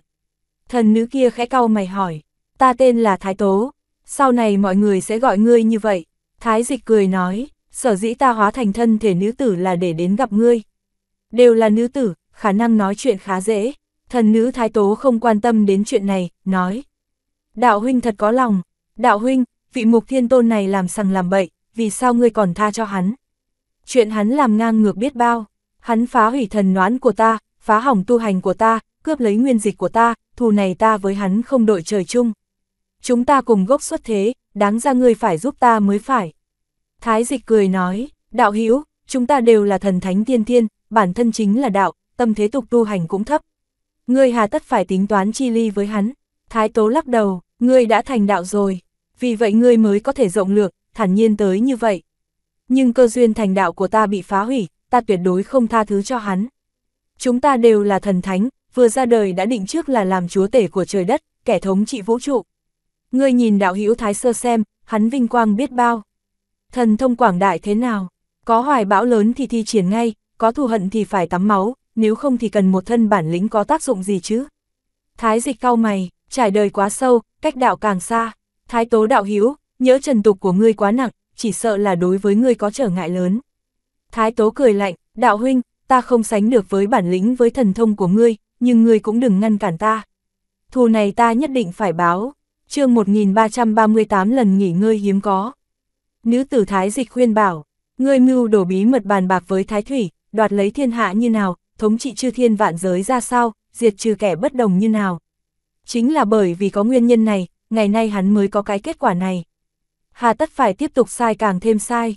Vẻ mặt Thái Tố khẽ thay đổi, phẫn nộ nói. Nơi ta bàn bạc với Thái Thủy là ở trong mắt của tiểu tử kia, thậm chí hắn cũng không biết, vậy mà ngươi lại biết, có thể thấy rằng ngươi thần thông thâm sâu khó lường. Nhưng nếu như ngươi đã biết chuyện này, có lẽ ngươi cũng biết ta gặp chuyện tai họa không thể không xuất thế trước, vì sao không ngăn cản hắn sớm một chút. Đạo huynh, ngươi quá bất công, nàng cười vô cùng tức giận, phất tay áo nói. Bây giờ ta muốn giết sạch tất cả mọi người ở trong hắc sơn này, trước là rửa sạch mối hận trong lòng ta, sau đó quay về mạch khoáng của ta, giết hết tất cả mọi người ở đấy. Ngươi muốn ngăn cản ta sao? Nữ tử thái dịch đặt thùng sắt nhỏ xuống, mắt nhìn mũi mũi nhìn tim. Bên cạnh cây vũ trụ, không cho phép ngươi láo xược. Ta có thể nhìn hết tất cả quá khứ tương lai, chỉ riêng nơi này là không nhìn thấy, nơi này là căn nguyên tai biến. Ngươi dám làm loạn ở đây, nếu như phá hủy nơi này, ta không thể không ngăn cản ngươi. Ánh mắt thái tố lộ ra tia sáng hung ác, đang muốn ra tay thì đột nhiên thái dịch cong tay búng một cái, thái tố lập tức cảm thấy đất trời xoay chuyển, bay ra khỏi thập vạn hắc sơn, không biết rơi xuống nơi nào. Thái dịch thở phào nhấc thùng nước rời đi, si tâm quá nặng, cũng khó mà thành đạo, đạo hữu khó kiếm, một mình ta hết lần này đến lần khác không ngăn cản nối. Thái tố ngã xuống, chỉ cảm thấy choáng váng, một lúc lâu sau mới hồi phục được, nộ khí ngút trời, hận quát. Quả nhiên là cái đồ khốn nạn đối xử bất công. Được thôi, ta cướp lại mạch khoáng trước đó, sau đó sẽ đi giết tiểu tử kia rửa hận. Nàng đằng đằng sát khí xông về phía mạch khoáng nữ tân thị, đợi nàng đến được lãnh địa của cung thiên tôn, nhìn từ xa, vẻ mặt không khỏi khẽ biến sắc, chỉ thấy một thần binh đang treo ở trên không trung của mạch khoáng thái tố, chân áp tất cả. Hình dáng thần binh kia gần như là hình nón, biến hóa vô hình, không ngừng phân chia, bỗng nhiên lại tập hợp lại cùng với nhau, dựng thẳng ở nơi đó, rồi nhọn hướng xuống dưới, cực kỳ đáng sợ. Bây giờ thực lực của ta không đủ, chỉ sợ không có cánh nào xông vào được, bảo vật này lợi hại như thế, nếu như ta mạnh mẽ xông vào, chỉ sợ trái lại sẽ gặp phải chuyện chẳng lành. Thái Tố Trần trừ một chút, quay người lại rời đi. Đã như thế, vậy thì ta sẽ đi tìm vị đạo hữu ở trong mạch khoáng thái cực. Vị đạo hữu kia chỉ điểm cho tên tiểu tử này đi đến bên cạnh gốc cây của vũ trụ, cố ý hãm hại hắn, nhất định sẽ ăn nhập với ta. Chân trước của Thái Tố vừa đi, chân sau của Tần Mục đã rời khỏi lãnh địa của cung thiên tôn, tha thiết đưa tiến một vị nữ đế cười nói. Tư Hoa xin dừng bước, nữ đế kia là đệ tử của cung thiên tôn tên là Niên Tư Hoa, nói. Mục thiên tôn, gia sư có mệnh, phải kính trọng ba phần đối với mục thiên tôn, cho dù mục thiên tôn dẫn đầu nhân hoàng của nhân hoàng điện DN chặn cửa, ta cũng ân cần nghênh đón, ân cơ N đưa tiến. Tần mục cười ha ha, nói, nhận được khoản đãi, xin dừng bước, dứt lời thì lướt đi, niên tư hoa nhìn theo hắn đi xa, hơi nhíu mày, thấp giọng nói. Thật sự không biết sư tôn nghĩ như thế nào, vậy mà lại tặng cho hắn thần thạch vô cùng khó khăn lắm mới có thể đào ra. Mục thiên tôn này ngoài miệng ba hoa, không có lời gì là thật, vừa nhìn đã biết là hạng người nói năng tùy tiện, cùng là một loại người với âm thiên tử, sư tôn chớ có bị hắn lừa tiền gạt sắc. Tần mục nhận được 8 khối thái tố thần thạch từ chỗ niên tư hoa, cảm thấy mỹ mãn. Luyện hóa 8 khối thần thức này thì chắc hẳn có thể luyện hóa được một ngụm dịch trứng mà ta hút kia rồi, cùng lắm chỉ còn lại một ít, nhưng cũng không đáng lo. Hắn lấy một khô y thái tô thần thạch ra, bàn tay khẽ siết chặt. Thái tô thần thạch dần dần biến mất, xoa tê hiện ở trong bụng của hắn, dịch chứng kia ngoan cố không thay đổi kia cũng bia n hóa tương ứng. Tần mục cảm thụ đạo vận của đạo Thái Tố, chỉ cảm thấy rằng tu vi tự tăng lên, cũng hiểu rõ thêm đủ loại phù văn đại đạo Thái Tô, trong lòng vô cùng sảng khoái. Ta nghiên cứu Thái Thủy chi noãn trong thời gian dài như vậy, lúc này mới nghiên cứu ra phù văn Thái Thủy, thế nhưng trong phù văn Thái Thủy chắc chắn vẫn còn có tồn tại tầng thứ sâu hơn phù văn đại đạo. Mà chỉ luyện hóa dịch chứng, đã có thể lý giải nhiều phù văn đại đạo Thái Tố như vậy. Nếu có thể bật mở Thái Thủy chi noán, lấy Thái Thủy thần thạch luyện hóa dịch chứng Thái Thủy, vậy thì chắc chắn sẽ nhận được kết quả tu luyện gấp đôi một nửa so với việc nỗ lực tu luyện. Hắn không nén nổi suy nghĩ, lập tức lắc đầu, Thái Thủy Chi noán vô cùng cứng rắn, cho dù là sự tồn tại của đại đế đỉnh phong như ngụy Tùy Phong cũng không cách nào tách nó ra, trái lại bị chấn nát ba đầu ngón tay. Đương nhiên Tần Mục cũng không làm được, mà Thái Tố Chi noãn dựa vào uy năng đáng sợ mà hủy diệt vũ trụ trước đó mang đến mới khiến Thái Thủy Chi noãn vỡ vụn. Loại tình huống khủng bố kia, TN Mục tuyệt đối không muốn trải qua một lần nào nữa hắn mang theo đèn lồng của Nguyệt Thiên Tôn đi về phía vết nứt trên bơ u trời tổ đình, xuyên qua phong ấn do chính mình để lại. Tần mục quan sát cầu linh năng đối thiên mình để lại bên ngoài tổ đình, tỉ mỉ quan sát một lần, cười lạnh nói. Cây cầu này bị phá hủy 8 lần, gần như Hồng Thiên Tôn, Hiệu U Thiên Tôn và Cung Thiên Tôn sẽ không phá hủy cầu của ta, như vậy người động thủ sẽ là Thiên Tôn khác. Mà lần thứ 8, hẳn là tiểu nương bì vân sơ tụ kia. chương 1339 lần nghỉ ngơi hiếm có hai hắn nhớ tới vân sơ tụ thì không thể không nhớ tới cung chủ của tạo phụ thiên cung Thạch Kỳ La, cái tên hán tử khôi ngô trên mặt đầy dâu quai nón kia. TN mục lắc đầu, leo lên cầu linh năng đối thiên. Cây cầu linh năng đối thiên này kết nối với Diên Khang, chờ cho đến khi hắn đi ra khỏi cầu linh năng đối thiên thì đã đi tới phụ cận kinh thành Diên Khang. Tần mục thở phào nhẹ nhóm, đi vào kinh thành thì thấy Linh Dục Tú, thế là nói tới trải nghiệm trong tổ đình. Linh Dục Tú nói, người cứ ở trong cung mấy ngày trước đã, chờ luyện hóa xong dịch chứng kỳ lạ kia thì đi cũng không muộn. Tần mục thấy cũng đúng, vì vậy ở tạm lại ở trong cung. Linh Dục Tú tìm đến hắn ngay sau khi đã xử lý xong chiều chính thì nhìn thấy Tần Mục đang ngẩn ngơ xuất thần ngồi nghỉ mát trong ngự hoa viên. Linh Dục Tú bước DN bên cạnh hắn rồi ngồi xuống, phất tay bảo các cung nữ tản đi, cười nói. Quốc sư đang suy nghĩ cái gì thế? Ta đang suy nghĩ đến chia N sự của Thái Hư. TN Mục suy tư nói. Mặc dù vùng đất Thái Hư hiểm ác, nhưng cũng khó có thể ngăn cản được sự tiến công của thiên đình. Thực lực của thiên đình quá mạnh, công phá cùng đất Thái Hư là chuyện sớm muộn. Hiện tại quyền khống chế hư không thú nằm trong tay Long Kỳ Lân, ta có nên để Long Kỳ Lân mang theo hư không thú tới Thái Hư Trinh Chia N hay không? Linh Dục Tú suy nghĩ một chút, nói, nếu Thái Đê xuất hiện trong Thái Hư, liệu Long Kỳ Lân có thể bảo vệ được mẫu thú không? Ta cũng đang suy nghĩ vấn đề nan giải này. Hai người ngô y trong đình hóng mát thưởng thức phong cảnh, đều không nói gì, quý trọng thời khắc yên tĩnh khó có được này. TN Mục đứng dậy cởi giày ra, ngồi bên cạnh đình nghỉ mát, chân đặt trong nước. Linh Dục Tú cười nói, ngươi vẫn còn tính cách của tiểu hài tử sao, coi chừng chân thối hun chết cá của ta. Tần mục vỗ vỗ chỗ trống bên cạnh, cười nói, ngươi cũng tới đây ngồi cùng đi, Linh Dục Tú la xê đầu, ta hiện tại là hoàng đế, giống như ngươi thì còn thành thể thống gì nữa. Xung quanh không có ai, Linh Dục Tú trần trừ chốc lát, nhìn chung quanh một cái, lúc này mới cởi giày ngồi bên cạnh hắn, thật cơ n thận bỏ chân vào trong nước, thở phào nhẹ nhõm. Tự tại, đã rất nhiều năm ta đã không cởi giày trước mặt mọi người. Tần mục cười ha ha, đột nhiên Linh Dục Tú tựa vào vai hắn, hai người, bốn chân, vỗ mặt nước. Một lát sau, Linh Dục Tú tựa vào vai hắn ngủ thiếp đi, Tần Mục vẫn không nhúc nhích, nhìn nàng đang ngủ say. Lúc Linh Dục Tú tỉnh lại đã là hoa đăng vừa lên, cuống quyết nhảy dựng lên, oán giận nói. Sao ngươi không đánh thức ta? Tần Mục cười nói, ta thấy ngươi quá mệt mỏi, vì vậy không đánh thức ngươi. Vừa rồi còn có một ít cung nữ tới nơi này, bị ta đuổi trở về. Linh Dục Tú vội vàng mang giày vào, nói, các nàng đến thúc giục ta tới ngự thư phòng, ta vẫn còn chưa phê duyệt tấu chương, phải qua đó làm thôi. Tần Mục đứng dậy mang giày vào, nói, ta đi với ngươi, Linh Dục Tú lắc đầu, để cho đám quan thanh liêm kia nhìn thấy ngươi giúp ta phê duyệt tấu chương thì lại báo lên triều đình nói ngươi can chính, muốn dê tê chết ngươi. Tần Mục cười nói, còn có quan thanh liêm cơ à, nhiều lắm, để ta đi với ngươi, quốc sư như ta cũng đã có mười mấy năm không để ý tới triều chính rồi. Đám quan thanh liêm kia thích nói thì đê cho bọn họ nói đi, cùng lắm thì ngươi giết chết bọn họ, sau đó lặng lẽ gửi bọn họ đến nơi nào đó. Ngươi có ghi thù không đấy?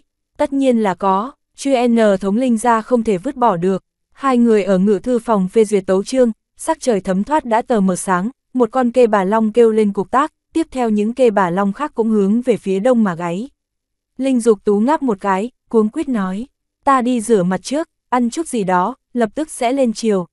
Đi trễ thì lại cãi nhau tối mày tối mặt mất, tần mục cũng đứng dậy, muốn ôm nàng một cái thì thấy các cung nữ cầm vật rửa mặt đi vào, đành phải nhịn xuống, nói. Bệ hạ, ta đã luyện hóa thần thạch và dịch chứng, nên đi xử lý chuyện của riêng mình rồi. Linh Dục Tú lau mặt rửa tay trong chậu, ngẩng đỡ u cười nói. Ngươi đi làm việc của ngươi, cứ đi đi, nơi này có ta. Trong lòng của TN mục ấm áp, ôn nhu nói. Bệ hạ chú ý thân thể, Linh Dục Tú trong lòng cũng ấm áp, ôn nhu nói. Quốc sư cũng vậy, đừng để vơ tê vả quá. TN mục khom người, rời khỏi ngự thư phòng, ngẩng đầu nhìn lại, phía đông đã gần sáng. Hắn chỉnh sửa lại y phục, y phục quang minh chính đại, thừa dịp sắc trời còn chưa sáng, sách đèn lồng của Nguyệt Thiên Tôn đi về phía Dũng Giang. Đại sư huynh, tướng sĩ trên quỷ thuyền, ta đã đáp ứng các ngươi rằng sẽ giải thoát các ngươi ra khỏi thần thông thì không dễ dàng gì, mà bây giờ rốt cuộc ta đã có thể làm được rồi. Chờ cho đến khi mặt trời đã lên cao, hắn đã đến Dũng Giang. Tần Mục đứng trên mặt sông, nhưng nhìn thấy một vầng mặt trời đỏ nhảy ra khỏi mặt sông ở phía đông, sóng nước của Dũng Giang dâng lên lan động, bị mặt trời đỏ mới mọc chiếu rọi giống như hàng ngàn con cá đỏ nhảy lên mặt nước. Hắn thu hồi đèn lồng, lấy châm cài gỗ đào của Lăng Thiên Tôn ra, nhẹ nhàng trèo lên mặt sông, một chiếc quỷ thuyền xuất hiện dưới mặt sông, cột buồm phá vỡ mặt nước, cấp tốc lướt dưới nước. Chia xe quỷ thuyền kia ầm ớ em mờ vọt ra khỏi mặt nước, trong nháy mắt phá vỡ mặt sông Dũng Giang, nước sông lấp lánh đòn ánh mặt trời mọc chiếu rọi, từng chiếc cầu vòng treo trên không quỷ thuyền. Quỷ thuyền đạp gió rẽ sóng, chạy về phía tần mục. Tần mục bay lên trời, hạ xuống trên sàn tàu của quỷ thuyền. Sư huynh, tần mục khom người chào hỏi. Sư đệ, Vân La đế ngụy Tùy Phong chào đáp lễ, lúc đứng dậy, phía sau xuất hiện hàng vạn quan tài đen.